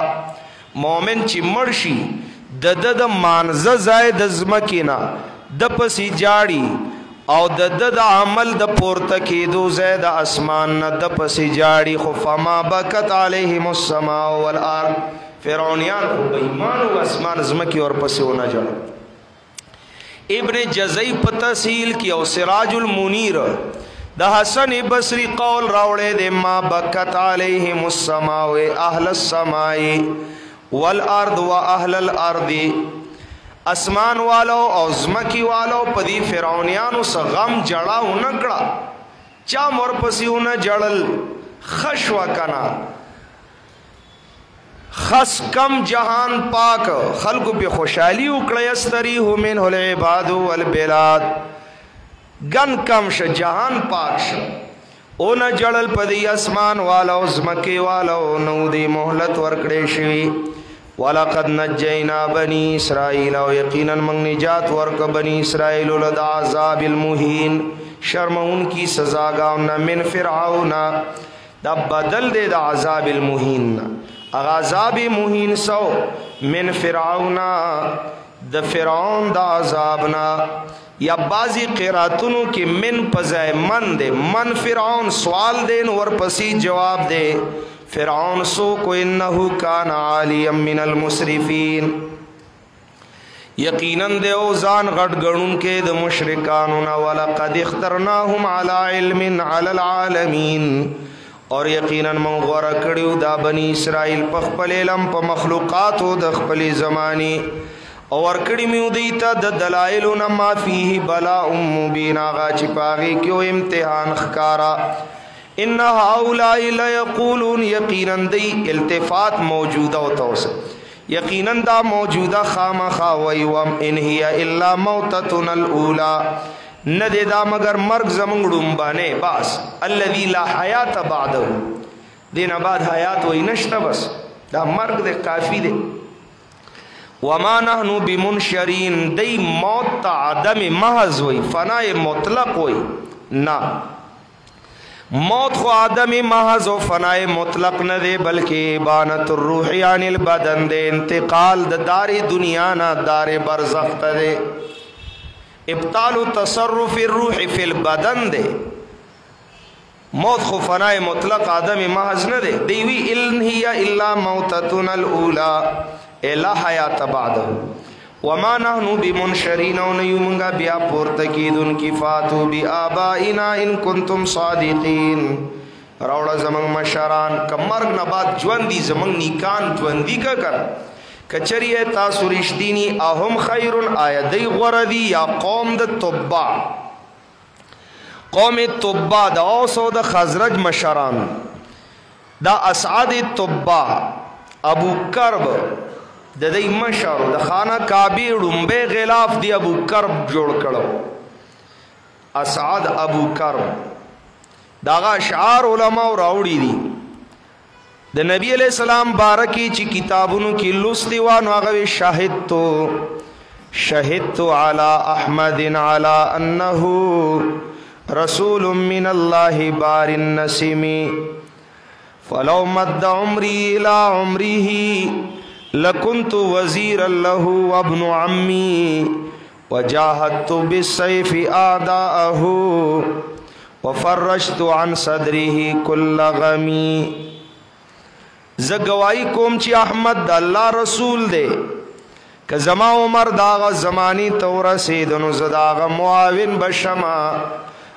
او زما د تر زوی دی زب داغ سره مرګره شم جهاد بالسيف داغ د دشمنانو سره بکوم او داغ د زړه نه به هر غم لري کوم دا د قوم توبه مشر اسعد ابو کربو ول تبابع اسوار لس بادشاہان پکې پرله پسې راغلیو آیا دی غوره دی که قوم د توبا وا خلق چیر مخکی د دینو حالات میکړل آغی یقینا د یو مجرمان دنیا د پیدایش مقصد ندی پیدا کړی منګه اسمان نو زمکا واغه چې په منځ دی کې دی عبس کون کی اور ندی پیدا کړی منګه د اسمان نو زمکه الا بالحق مگر د اظهار حق د پاره هغه حق څه شی دی؟ سوره ذاریات چھپن نمبر آیت ولکن اکثرهم لا یعلمون لیکن اکثر د دوی نه نه پوهېږي ان یوم الفصل میقاتهم اجمعین بېشک ورځ د فیصلې نیټه د دوی د ټولو دا د تخویف اخروي دی اوس نفی د شفاعت قهری یوم لا یغنی مولا عن مولا شیئا هغه ورځ چې فائدہ به ورنکي او مرګره د بل مرګري نه د سیزو نه بد د امداد وکړي شي الا من رحم الله مگر فائدہ باغ چالي چې رحم پیو کی الله بشک دا الله دې غالب په هر چا او رحم کون کې بېشکه وین بوټی د زقوم خوراک د ګناهګارو دی کلمهلې په شان د ویلي شوي قلایې جوش به وی فی البطون په خېټو کې په شان د جوش والو د حمیم ګرمو بو الله ورته خذوه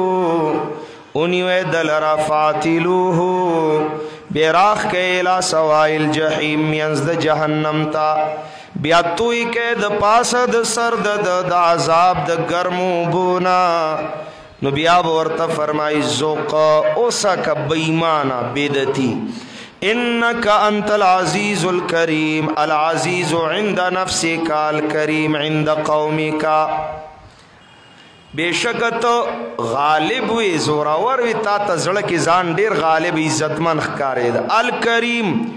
د عزت خاوند وې، د خپل قوم په نس باندې هم ته ډېر لوی سابق وې، سخابونیا کا،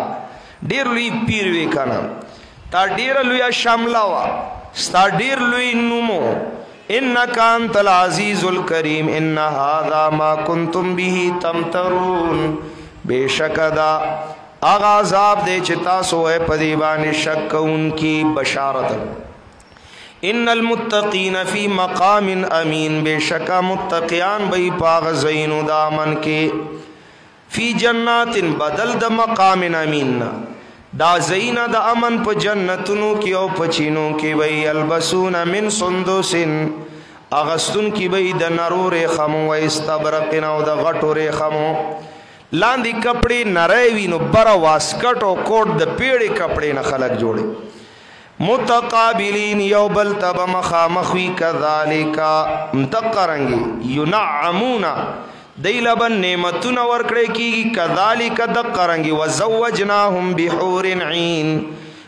او جوړه بکړې شي دی سره حوري غټو غټو سترګو والا يدعونا فيها بكل فاكهه امينين غواړي ودی را بلی با پدی کی هر یو میوی پامن سرا نبا سکی پدی کی موت الا الموت الاولى مگر هغه سکلې او مرګړم بنه هغه لومبه مرګ سکل او جنت کې مرګ چرته دی ووقاهم عذاب الجحیم او بچ بکی الله دی لره د عذاب د جهنم نا فضلا من ربک دا فضیلت دې د طرف دربستانا الا الموت الاولى استثناء منقطع ده لكن الموت الاولى قد ذاقوها هغه ړومبه مرګ چې سکلې باس بل مرګ نشته بس جنت کې یا الا په معنا د بعدو سره د بعضی مفسرین وای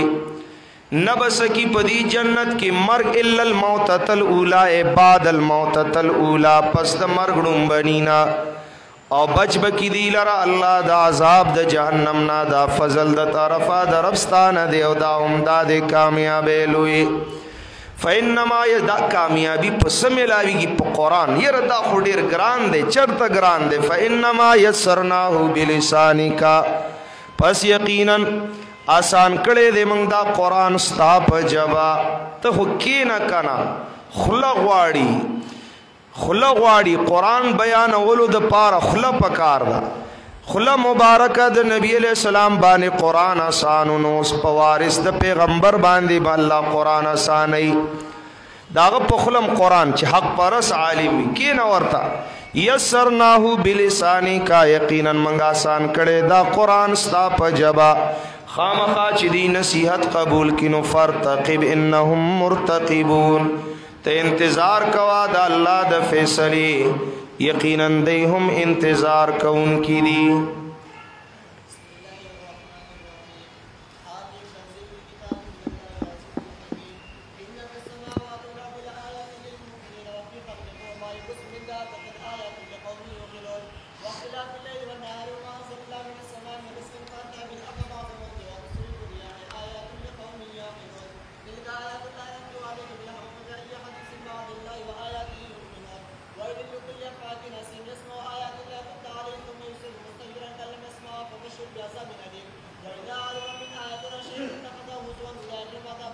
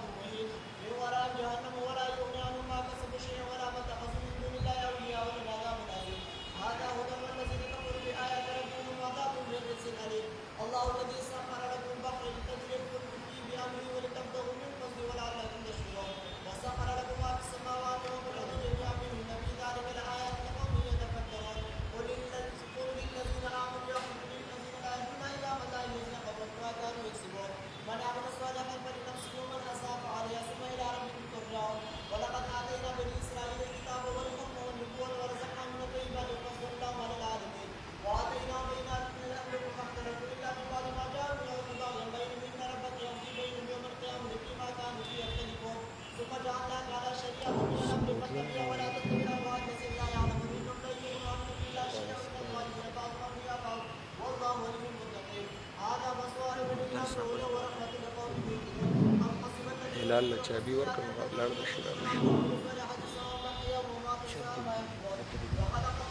خیش کو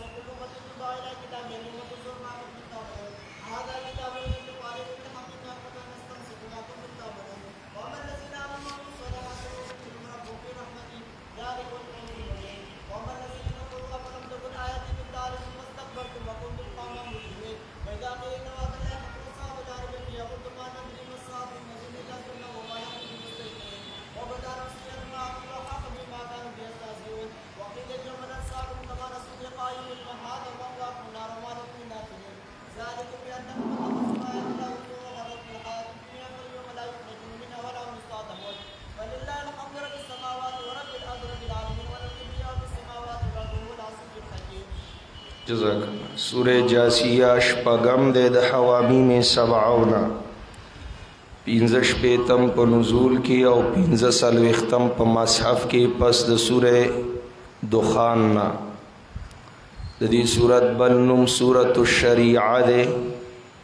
یو نوم صورت الدهر ده مشهور نوم صورت الجاسیه ده ربط مخکی تخویف د پاره ذکر د عذاب نو په دې صورت کې د عذاب نه د بچاو طریقه بیانېږي په دې صورت کې د لسمې شبهې جواب دی لسمه شبهه دا وه چې موږ د مشرانو تابعدار یو نو اتلسم نمبر آیت کې د هغې جواب کوي ثم جعلناک علی شریعة من الامر فاتبعها اتباع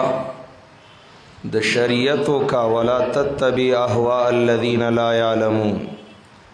صورت کې دول زلا لفظ د آیات ذکر دی یعنی آیات او د شریعت پابند شه داود توحید دو ځای دا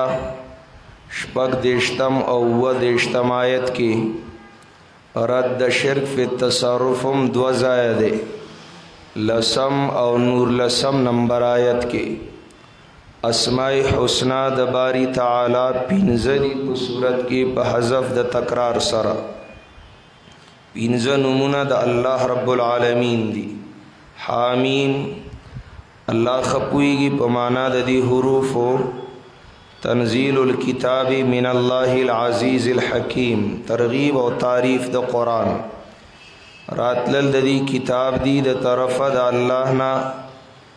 چې غالب دی په هر چا او حکمتونو والا دی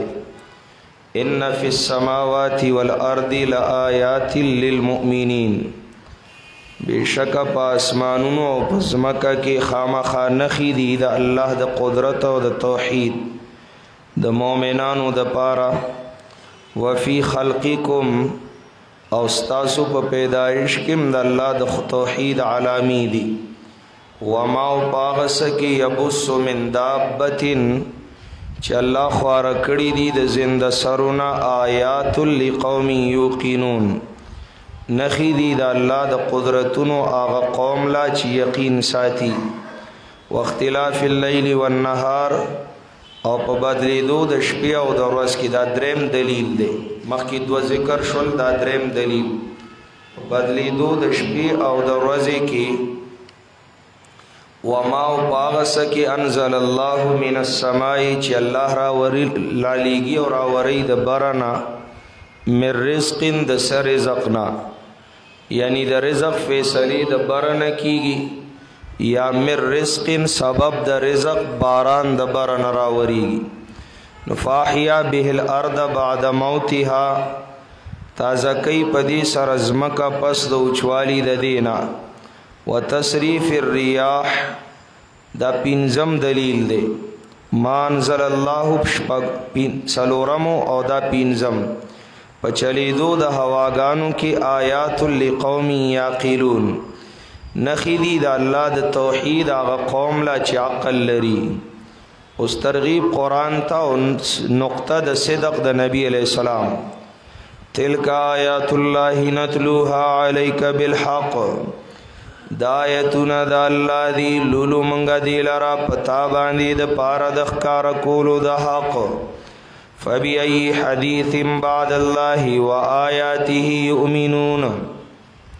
په کما یو خبره بعد الله بعد کتاب الله بعد آیات الله په کما یو خبره پس دا کتاب د الله نه او آیتونو د الله نه یؤمنون دی به ایمان راوړي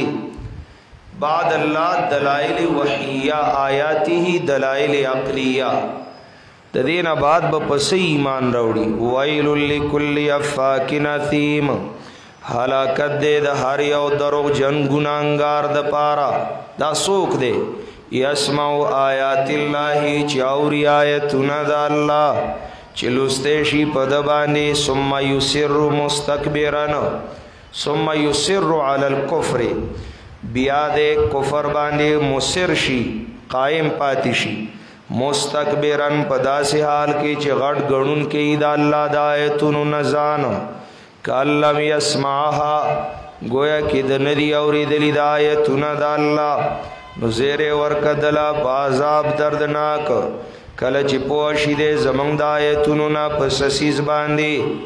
نونی وی دې لره پټو کو داخلك دیل دې عذاب شرمون کې من ورائهم جهنم دیل عذاب مهین دی نو اخوا د دین جهنم جهنم نمخ کې د عذاب مهین کم یو دی سو کوئی د دنیا عذاب دی نو دنیا کې خو هر بې ایمان الله الله عذاب نه ور کوي نو خامخا د عذاب قبر دی اثبات د عذاب قبر من ورائهم جهنم اخوا د دین جهنم دی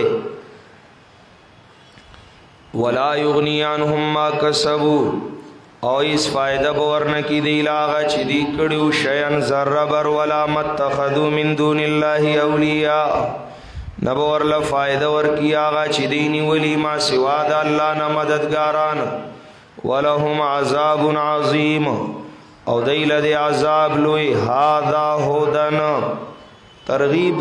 قران ته په ذکر د عظمت د قران هاذا دا قران عظیم هودن کامل دے په هدایت کې امام نصفی وی تفسیر مدارک کې هاذا هودن اے کامل فی الهدایت کما تقول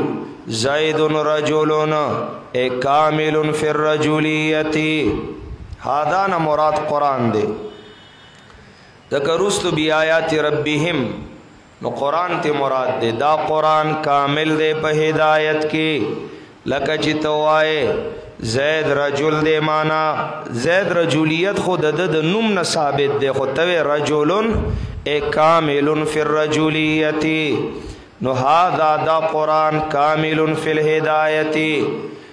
علی رضی الله تعالی عنہ نے روایت او نبی علیہ السلام وی علی ډېر فتنی به پیدا شي ماوی د دینه د وتو لار به سید الله حبیب نبی علیہ السلام فرمایل کتاب الله فيه نبأ ما قبلکم وخبر ما بعدکم وحكم ما بينكم هو الفصل ليس بالحاضر په دې قرآن کې ستاسو نه د پخوانو حالات دي رستو واقعات دي ستاسو په منځ کې پیدا کیدونکو مسائل او فیصلې دي دا مضبوط کتاب د ټوکی نه دی من ترکه من جبارن قسمه الله چا چې قران د زدینات د وجنه پرې خو د الله به ټوټه ټوټه کی ومن ابتغى الهدى في غيره ازله الله چا چې قران نه غیر په بل سیس کې هدایت ولټاو الله گمراه الله به گمراه کی هاذا هدن من ابتغل هدا فی غیره ازله الله هو حبل الله المتين هو ذکر الحکیم هو صراط المستقیم دا قران دی هاذا هدن والذین کفروا بیاات ربهم زجر دی اور خلق چې کفر کړي دي پایتونو درب ددی دیل دی عذاب من رجزن علیم دا عذاب دردناکنا بیا دلائل په توحید، الله هغه ذات دی چې تابع کړي دي ستاسو دپاره دریاب، دې دپاره چې روانئ په کښتۍ په دې کې په حکم د الله او دې دپاره چې ولټوئ تاسو د فضل د الله نه او خامخا چې تاسو شکر ادا کړئ. وسخر لکم ما فی السماوات وما فی الارض او تابع کړی دی الله تاسو لا غس چې پاس مانونو کړي او را غس چې پزمکه کړي جميعا منه مفعول دی د فعل معذوفه اي اعتقدوا جميعا منه عقیده ولره چې دا ټول مخلوق د الله د طرف نه دی الله د دې ټولو خالق دی عیسائی سره د امام شافعی صاحب مناظره وه عیسائی د قرآن نه دلیل پیش که چه ستاسو په قرآن کی دی عیسی علیه السلام روح منه دا الله روح دی نو جز من الله شمن تبعیزیه دی امام شافعی صاحب دا آیت په دلیل کې پیش کوی په دې استدلال خو ټول کائنات جز من الله دی ولی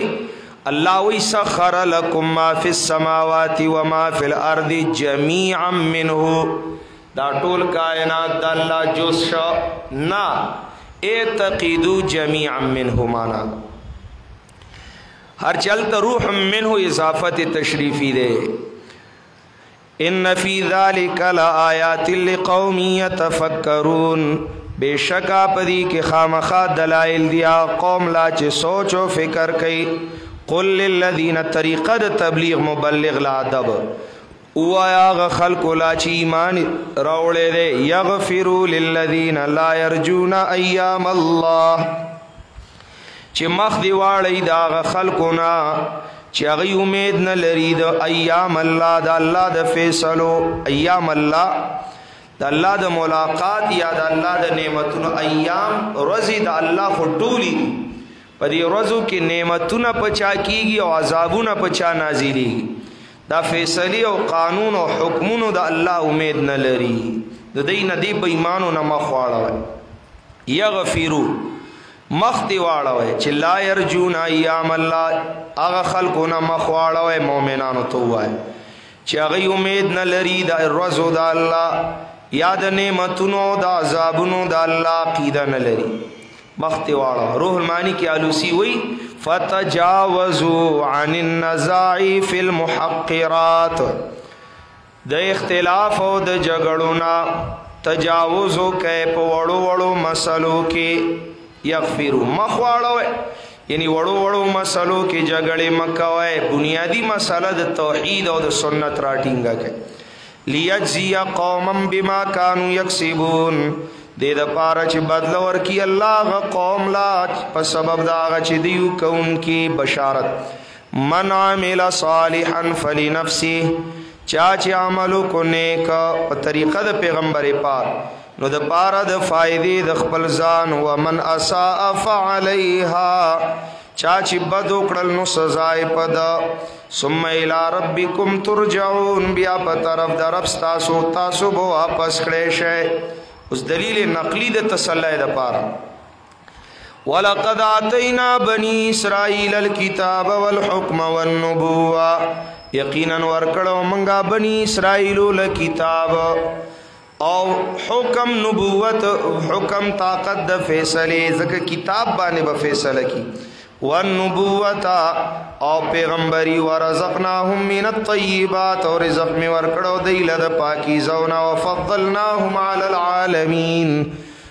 او غورواله می ورکړو په مخلوقاتو د خپل زمانه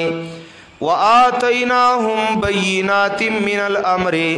ورکړی می واغیتا واضح د دلایلنا من الامر امر د دین نه واضح دلایل فمختلفو الا من بعد ما جاءهم العلم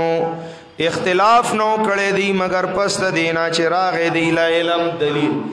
اختلاف یې پس د علم نه وکړو او ولی وکړو بغیا مفعول له دی د اختلافو د پاره د وجی د زد زدای نه په خپل مینس کې بشک عرب ستا فیصله بو کی د دې په منس کې پورز د قیامت پاغ سکه چې د یو پاغه کې اختلاف کوونکی ثم جعلنا کعلا شریعت من الامر فتبعها بیا وګورا ګرځولې می ته په واضح دین من الامر د دین نا په واضح شین ری عین کې معنا د وضاحت د اظهار د خالی په ورځ براتل میان اصحاب السبت لشرعا خکار د وبو پس شرعا شریعت تم شریعت زکو چې په دې کې پټواله نشته نبی علی السلام فرمایلو ترکتکم علی ملت البیضاء لیلها کنهارها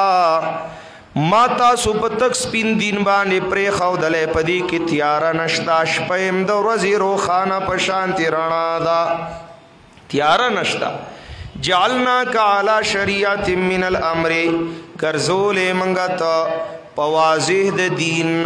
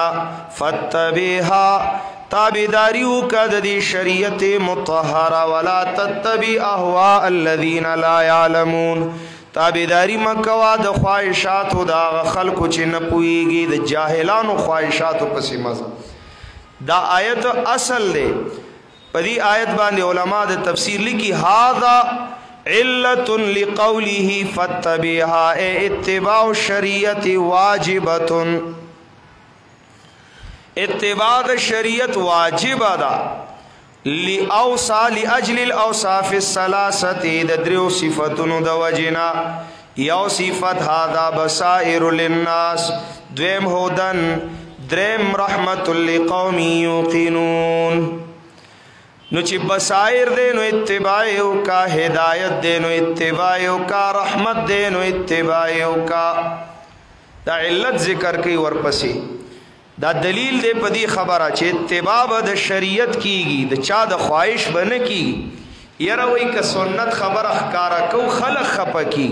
نو خلق رضا که خالق خپکه خیر دی دا وای استا عجیبه فیصله وکړه دا ایت اصل دی پر رد بدعات مقصد د صورت تم اشاره ده دی وی موږ د مشرانو تابعدار الله واضح دین را لېګلې داغي تابعدار شو انهم لن یغنو عنک من الله شیئا یقینا دی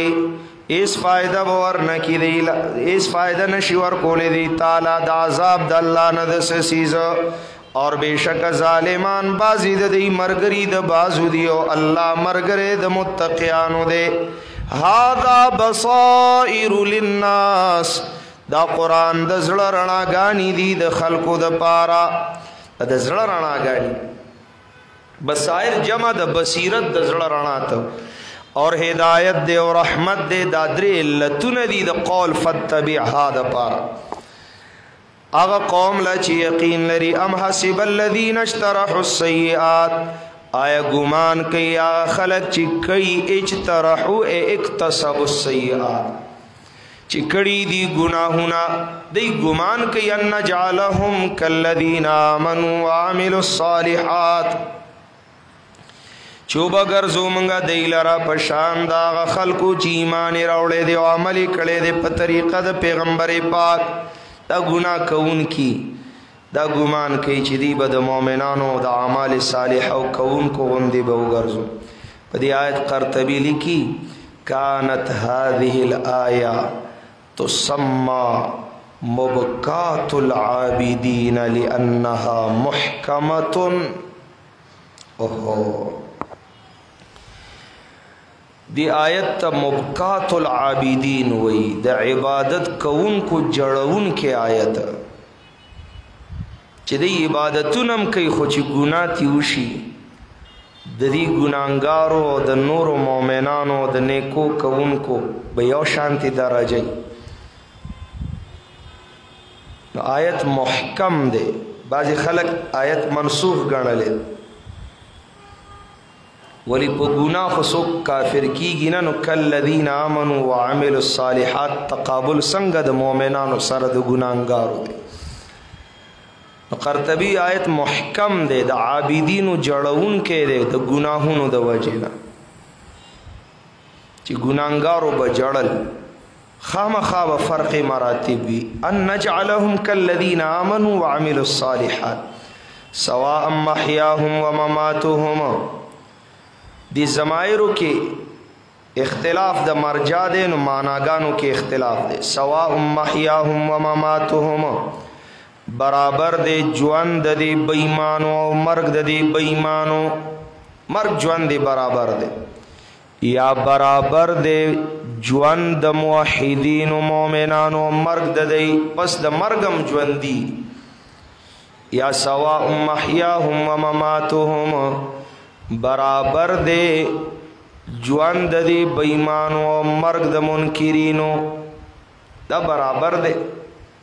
ساء ما يحكمون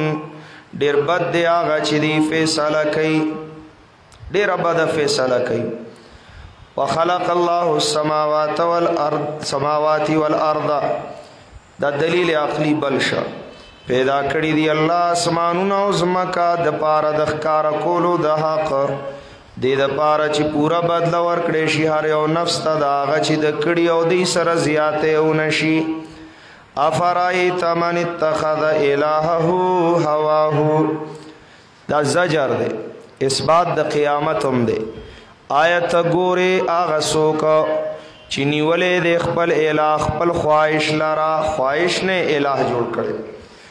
واذله الله علی علم گمرا کړي دلر الله سره د علم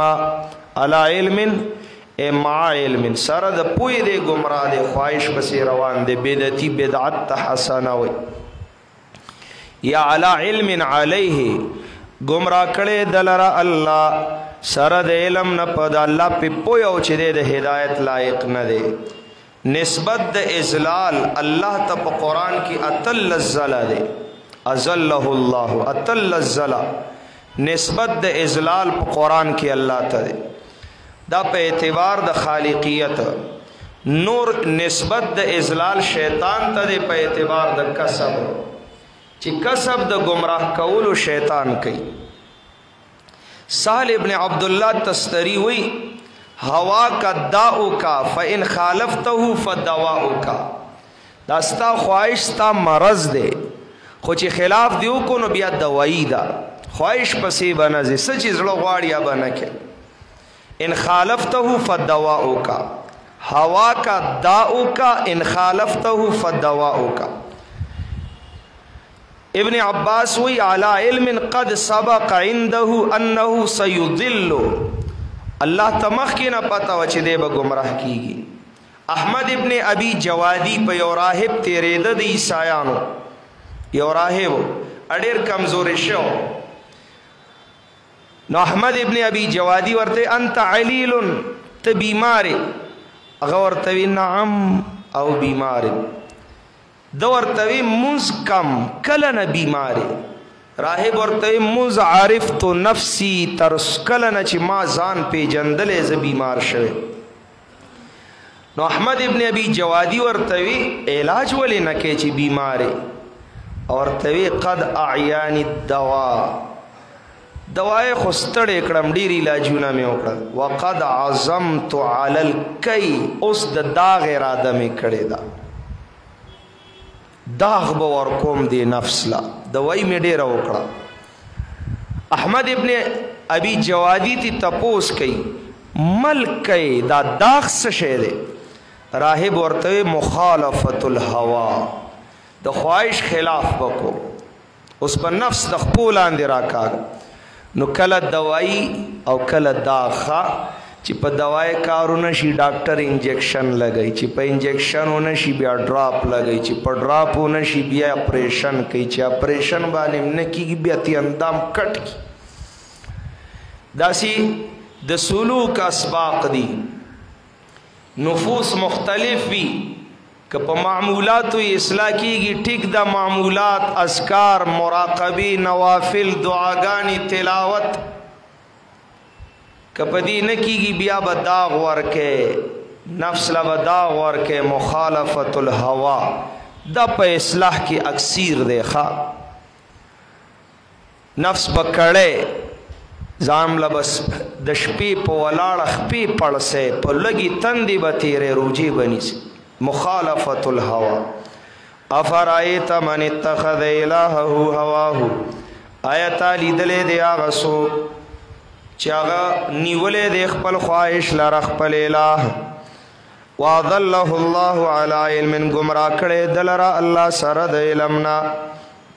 یا په علم په د باندې چې د ګمراه حقدار اور مہر لګولې دی الله د د په غوګونو په زړه او ګرځولې الله د د پسترګو پر دی نو څوک به هدایت ورکی د لا پس د پرې خودو د الله نه وتاسو نصیحت نه حاصل وای زجر بینکار القیامه دی وی نه دی دا مگر ژوند زمنګ د دنیا مرو منګ پدې کې او ژوند دی کیږي مشران مری کشران پیدا کی وما یهلکنا الا الدهر نه هلاکی منګلا مگر زمانہ ګور شرک کون او دهری شاخری انجام دغش موږ زمانه هلاکوي بس مرور د زمانې سره موږ باندې مرګونه راځي وما لهم بذلك من علم نشته د دیل په دې علم انهم الا يظنون علم یعنی دلیل ندی دی مگر اٹکلیان کله چلوستې شي په دې باندې زمنګ آیتونه واضح واضح نو نوی دلیل د دې مگر دا چې دی وي اتو بی آبائنا راوړه زمونږ مشران ته چې مرګ نه بعد ژوند شته نو زما پلار نیکه ژوندی که که که چېرې تاسو رښتیني ته ورته ووایه الله به ژوندي کی ژوندي کوي تاسو بیا به مړه کی تاسو نو بیا به ژوندي کی تاسو په قیامت کې هیڅ شک نشته په دې کې لیکن اکثر د خلکو نه نه پوهېږي دعوه د توحید خاص د الله په اختیار کې دي اختیارات د اسمانونو د زمکو و یوم تقوم الساعه او باور چې قائم بشي قیامت یوم اذ یخسر المبتلون په دا ورځ به تاوانیان شي باطل پرست وترا کل امه جاسیا ویني به هر یو ډله پړ مخې پراته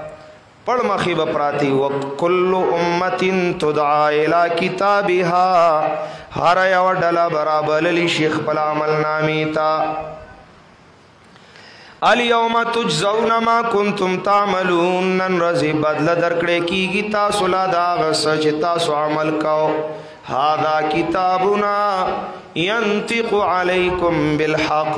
دا زمنګا عمل نامه دا بیان کوي پتا سبحانه په حق حق بالحق لاظهار الحق دا زمنګ عمل نامي پتا سو زمنګ کتاب پتا سو بیان کوي د حق د ښکارا کولو د پاره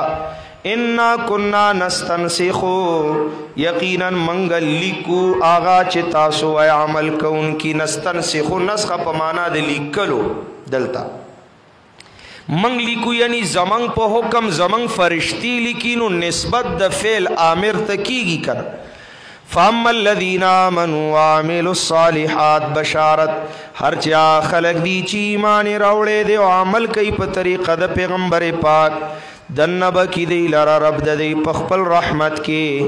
او دا هم دا دی کامیابې ښکاره. واما الذین کفروا، تخویف، هر چې هغه خلک دي چې کفر یې کړی دی، دوی به جهنم ته ځي، قیف، د دې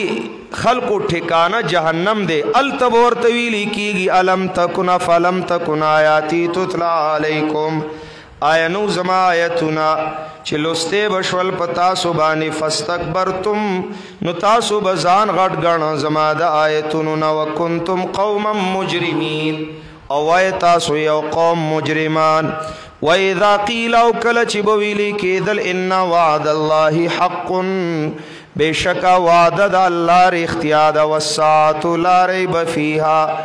او قیامت شک نشته په دې قیامت کې قلتم نو تاسو بوي ما ندري مسا موږ نه پويګو چې سبي قیامت قیامت لا ستوي ان ظن الا ظن من ګمان نکو مگر ګمان دا خو استثناء د شی د خپل نفس نه راغله ګمان نکو مگر ګمان کو نفي او اثبات د ځانو شو په یو ځای د دې معنا صدا نفي او اثبات ان ظن ظن مطلق مطلق ګمان نکو الا ظنن مگر ظن مقید یعنی ظنن حقیرا معنا هو ان ظن الا ظنن حقیرا نفی د ظن مطلق دا او اثبات د ظن حقیر دی ګمان نکو پورا هله غوندي خیال خیال غوندي زمنګ په ذهن کې براشي نو ګمان نکو مونږه الا ظنن مگر ظن حقیر یا ظن په قران کې په معنا د یقین راځي نو ان ظن من یقین نکو الا ظنن دلته ظن په خپل معنا مگر صرف ګمان کو یقین مو نشتا ها یو ګمان دې کې دي شي چې شي وما نحن بمستيقنين جمله حالیه د پاره د تاکید ده او نه یو مونږه یقین لرونکي په قیامت یقین مو نشتا ها ګمان ده ان ظن الا ظن ادا سالب او د مبرد قصه وا هغه وی دلته ځن په معنا ده یقین او الا ظنن استثناء د ظن یقین نکو صرف ګمان کو ما نحنو بمستيقنين جمله حالیه د تاکید د پاره دا دوانه دا یو کلی او هم عصر علماء مبرد او ثعلب لوی لوی امامان دي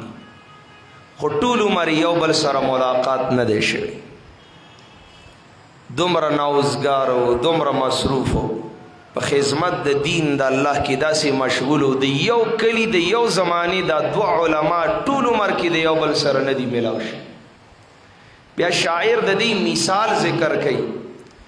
خپل محبوب ته وی و ابداننا فی بلدتن والتقاؤنا عسیر کاننا مبرد وسعلب زمنګ بدنونه په یو کلی کې دي خو زمنګ التقا ملاقات دومره ګران شه تبوي چې من ثعلب او مبرد یو د یو کلی دوه عالمان ټول عمر د یو بل سره ندي میلاو شي کاننا ثعلب مبرد و ثعلب نو موږ ګمان نه کو مګر موږ یقین نه کو مګر ګمان یا موږ ګمان نه کو پورا او مطلق الا ظن مګر ظن حقیر او نه یو منګه یقین لرون کی وبدالهم سیئات ما عملو خکار بشی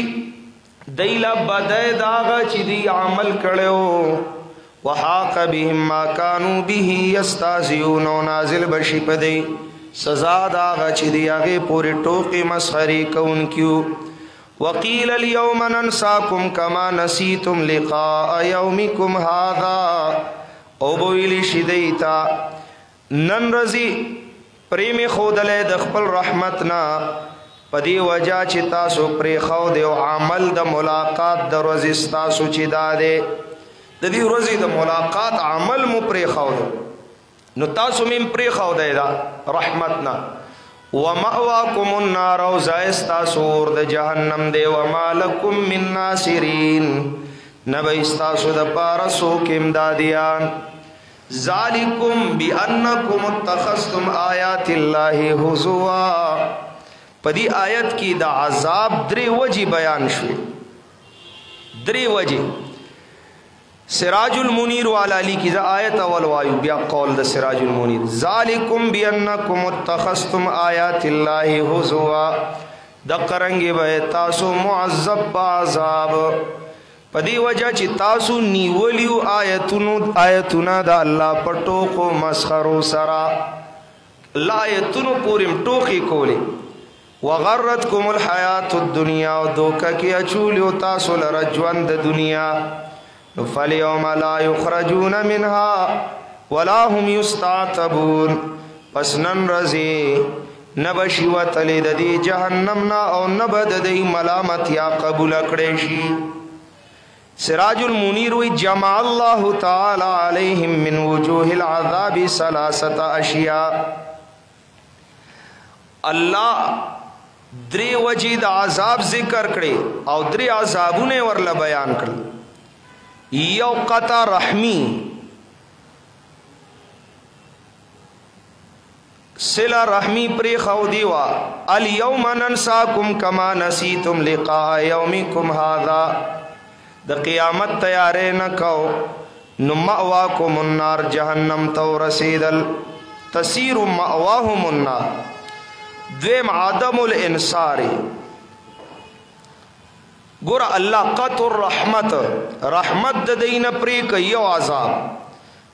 دویم مأواکم النار الله رب العزت اور ورله ځای کو نو دریم عذاب وما لکم من ناصرین امدادی به ورله څوک نه ولی زکه چې دی درې ګناهونه کول نو دا درې سزاګانې وی یو ګناه لانهم اتوا بثلاثه انواع من الاعمال القبيحه وهي الاصرار على انكار الدين الحق یو اصرار په انکار د دین حقه همیشګیری حق دین نه په انکار دی همیشګیری کړي و دویمل استهزاء به والسخریه دین او دیندارو پورې به مسخري کولې او دریم ول استغراق فی حب الدنیا مستغرق په مینا د دنیا کې غرت کوم الحیات الدنیا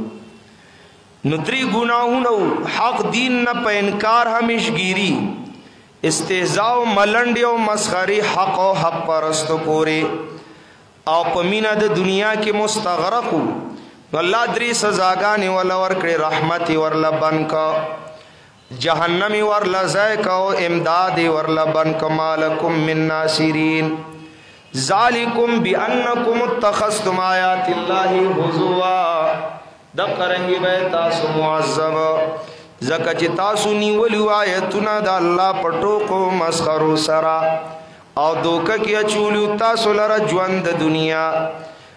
او نن ورځی نه بشي وتلی د دې جهنم نه او نه به د دې ملامت یا قبول شي فلله الحمد یو الله له صفات د اولوهیت دی ولی زکه چې رب السماوات مالک دی د اسمانونو او رب الارض مالک دی د زمکو او رب رب العالمین مالک او پالون کې دی د ټولو مخلوقاتو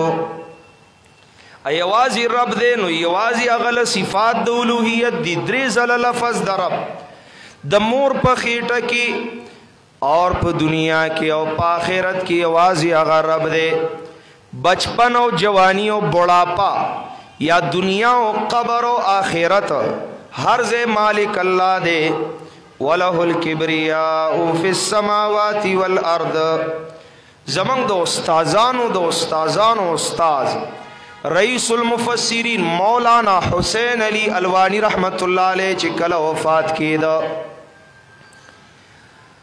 نو دا آیت اخیری سلګه کې ویلو ښا